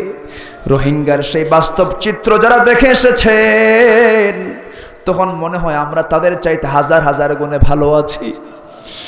হাল্লা গো, স্বামীহারা মহিলা, স্বামীহারা বিধবা সন্তান হারা পিতা আবার বাপ মাহারা এতিম সন্তানগুলো খোলা আকাশে অবস্থান করছে আল্লাহ গো তুমি তাদের অলি হয়ে যাও তাদেরকে সবর ধরার তৌফিক দিয়ে দাও সাথে সাথে ওই কাশ্মীর ওই বসনিয়া চেসনিয়ার জেগোভিনা সোমালিয়া ফিলিস্তিন আফগানিস্তান সহ যত মুসলমান পৃথিবীতে মার খাচ্ছে আল্লাহ তোমার গায়েবের সাহায্য তুমি আল্লাহ নাজিল করে দাও আল্লাহ দাম্মির أعداء الدين اللهم شتت شملهم اللهم مزق جمعهم. اللهم دمر ديارهم. اللهم إنا نجعلك في نحورهم ونعوذ بك من شرورهم. اللهم لا تدع لنا ذنبا إلا غفرت ولا هما إلا فرجت ولا دينا إلا قضيت ولا مريضا إلا شفيت ولا طاغيا إلا قسمت ولا مجاهدا في سبيلك إلا نصرت ولا حاجة من حوائج الدنيا والآخرة আল্লাহ তাআলা একদিন তো দুনিয়া থেকে বিদায় হয়ে যাব কে কখন চলে যাব জানি না রে আল্লাহ তবে ডান হাতে আমল নামা না আসা পর্যন্ত কবরে নিও না। আল্লাহ তোমার কাছে ফরিয়াদ করি। দুনিয়াতে কোনো ভুল করলে পরে শোধরানোর সুযোগ আছে রে। তোমার কাছে গিয়ে যদি আসামি হয়ে যায় পাশ পাওয়ার কোনো সুযোগও পাবো না রে। আল্লাহ, তোমার কাছে ফরিয়াদ করি। আমরা তোমাকে ভালোবাসতে পারিনি। তোমার রসুলকে ভালোবাসার মতো ভালোবাসতে পারিনি। আমাদের ইমানটাকে তুমি আল্লাহ মজবুত বানিয়ে দাও। আল্লাহ তোমার কাছে ফরিয়াদ করি। আমাদের চোখের সামনে কত দাগি দাগি অপরাধীগুলো সমগ্র প্রকাশ্যে ঘুরে বেড়ায়। তোমার মোহাব্বতের কোরআনের পাখিরা কেমনে খাঁচায় বন্দি থাকে রে আল্লাহ? আল্লাহ, তুমি মুক্ত পরিবেশে ফিরে আসার তৌফিক তুমি আল্লাহ দিয়ে দাও। এই মাহফিলটা আয়োজন করতে গিয়া প্রশাসনের যে অনুমতি আমরা পেয়েছি প্রশাসনের দায়িত্বে যারা নিয়োজিত আল্লাহ তুমি তাদের প্রতি খাস রাহমত নাজিল করো, তাদের পরিবারের প্রতি তোমার খাস রাহমত নাজিল করো। আয় আল্লাহ তাআলা, এই মাহফিলটাকে প্রতি বছর বাস্তবায়ন করার তৌফিক তুমি আল্লাহ দিয়ে দাও। আয় আল্লাহ তাআলা, একদিন তো দুনিয়া থেকে বিদায় হয়ে যাব। তোমার কাছে ফরিয়াদ করি মূর্তি যখন হবে, শহীদি মৌত কপালে জুটাইয়া দিও। আয় আল্লাহ তাআলা, পৃথিবীতে আসার তো সিরিয়াল ছিল। যাওয়ার তো কোনো সিরিয়াল নাই। কে কখন চলে যাব কেউ তো আমরা বলতে পারি না। আল্লাহ গো, আমি সবার কাছে দোয়া চাই। আমার ইমিডিয়েট বড়, আমার ইমিডিয়েট বড় বোন তিন বছরের বড় তিনি দুনিয়া থেকে বিদায় নিয়েছে। আল্লাহ, দিন অন্তত একটিবার তার কথা মনে হয়। যখন মনে হয় বোনের প্রতি কি মোহাব্বত, তখন বোঝা যায়, আল্লাহ এমনই করে অনেকের বোন, অনেকের ভাই, অনেকের আত্মীয় স্বজন দুনিয়া থেকে বিদায় নিয়েছেন। কবরগুলোকে জান্নাতের বাগিচা বানাইয়া দাও। আল্লাহ তাআলা, যেই জমিনে বসে আছে, জমিনটা তোমার। তুমি চিরঞ্জীব, তুমি চিরস্থায়ী। আল্লাহ ইলাহা ইল্লাহু, আল হাইয়ুল কাইয়ুম। তুমি যদি চিরঞ্জীব, তুমি যদি চিরস্থায়ী অবশ্যই হয়ে থাকো। আমরা তাই বিশ্বাস করেছি। অবশ্যই তুমি আমাদের সেই প্রভু, যে প্রভুর কোনো মৃত্যু নাই, যে প্রভুর কোনো ক্ষয় নাই, শেষ নাই। আল্লাহ গো, তোমার আইন তোমার জমিনে কায়েম হয়েছে। এমন পরিবেশ তুমি আল্লাহ আমাদের দেখার তৌফিক তুমি আল্লাহ দিয়া দাও। আল্লাহ দুনিয়া থেকে একদিন বিদায় হয়ে যাব। স্বপ্নের ব্যবসা করেছিলাম। বড় ব্যবসায়ী হয়েছিলাম। মারা যাওয়ার সঙ্গে সঙ্গে ঘর থেকে টান মেরে বের করে দেবে। নরম নরম বিছানা, এসি রুম ছাড়া ঘুম হয় না। ঘর থেকে টান মেরে বের করে দিয়া রে শেষ গোসলটা করে দেবে।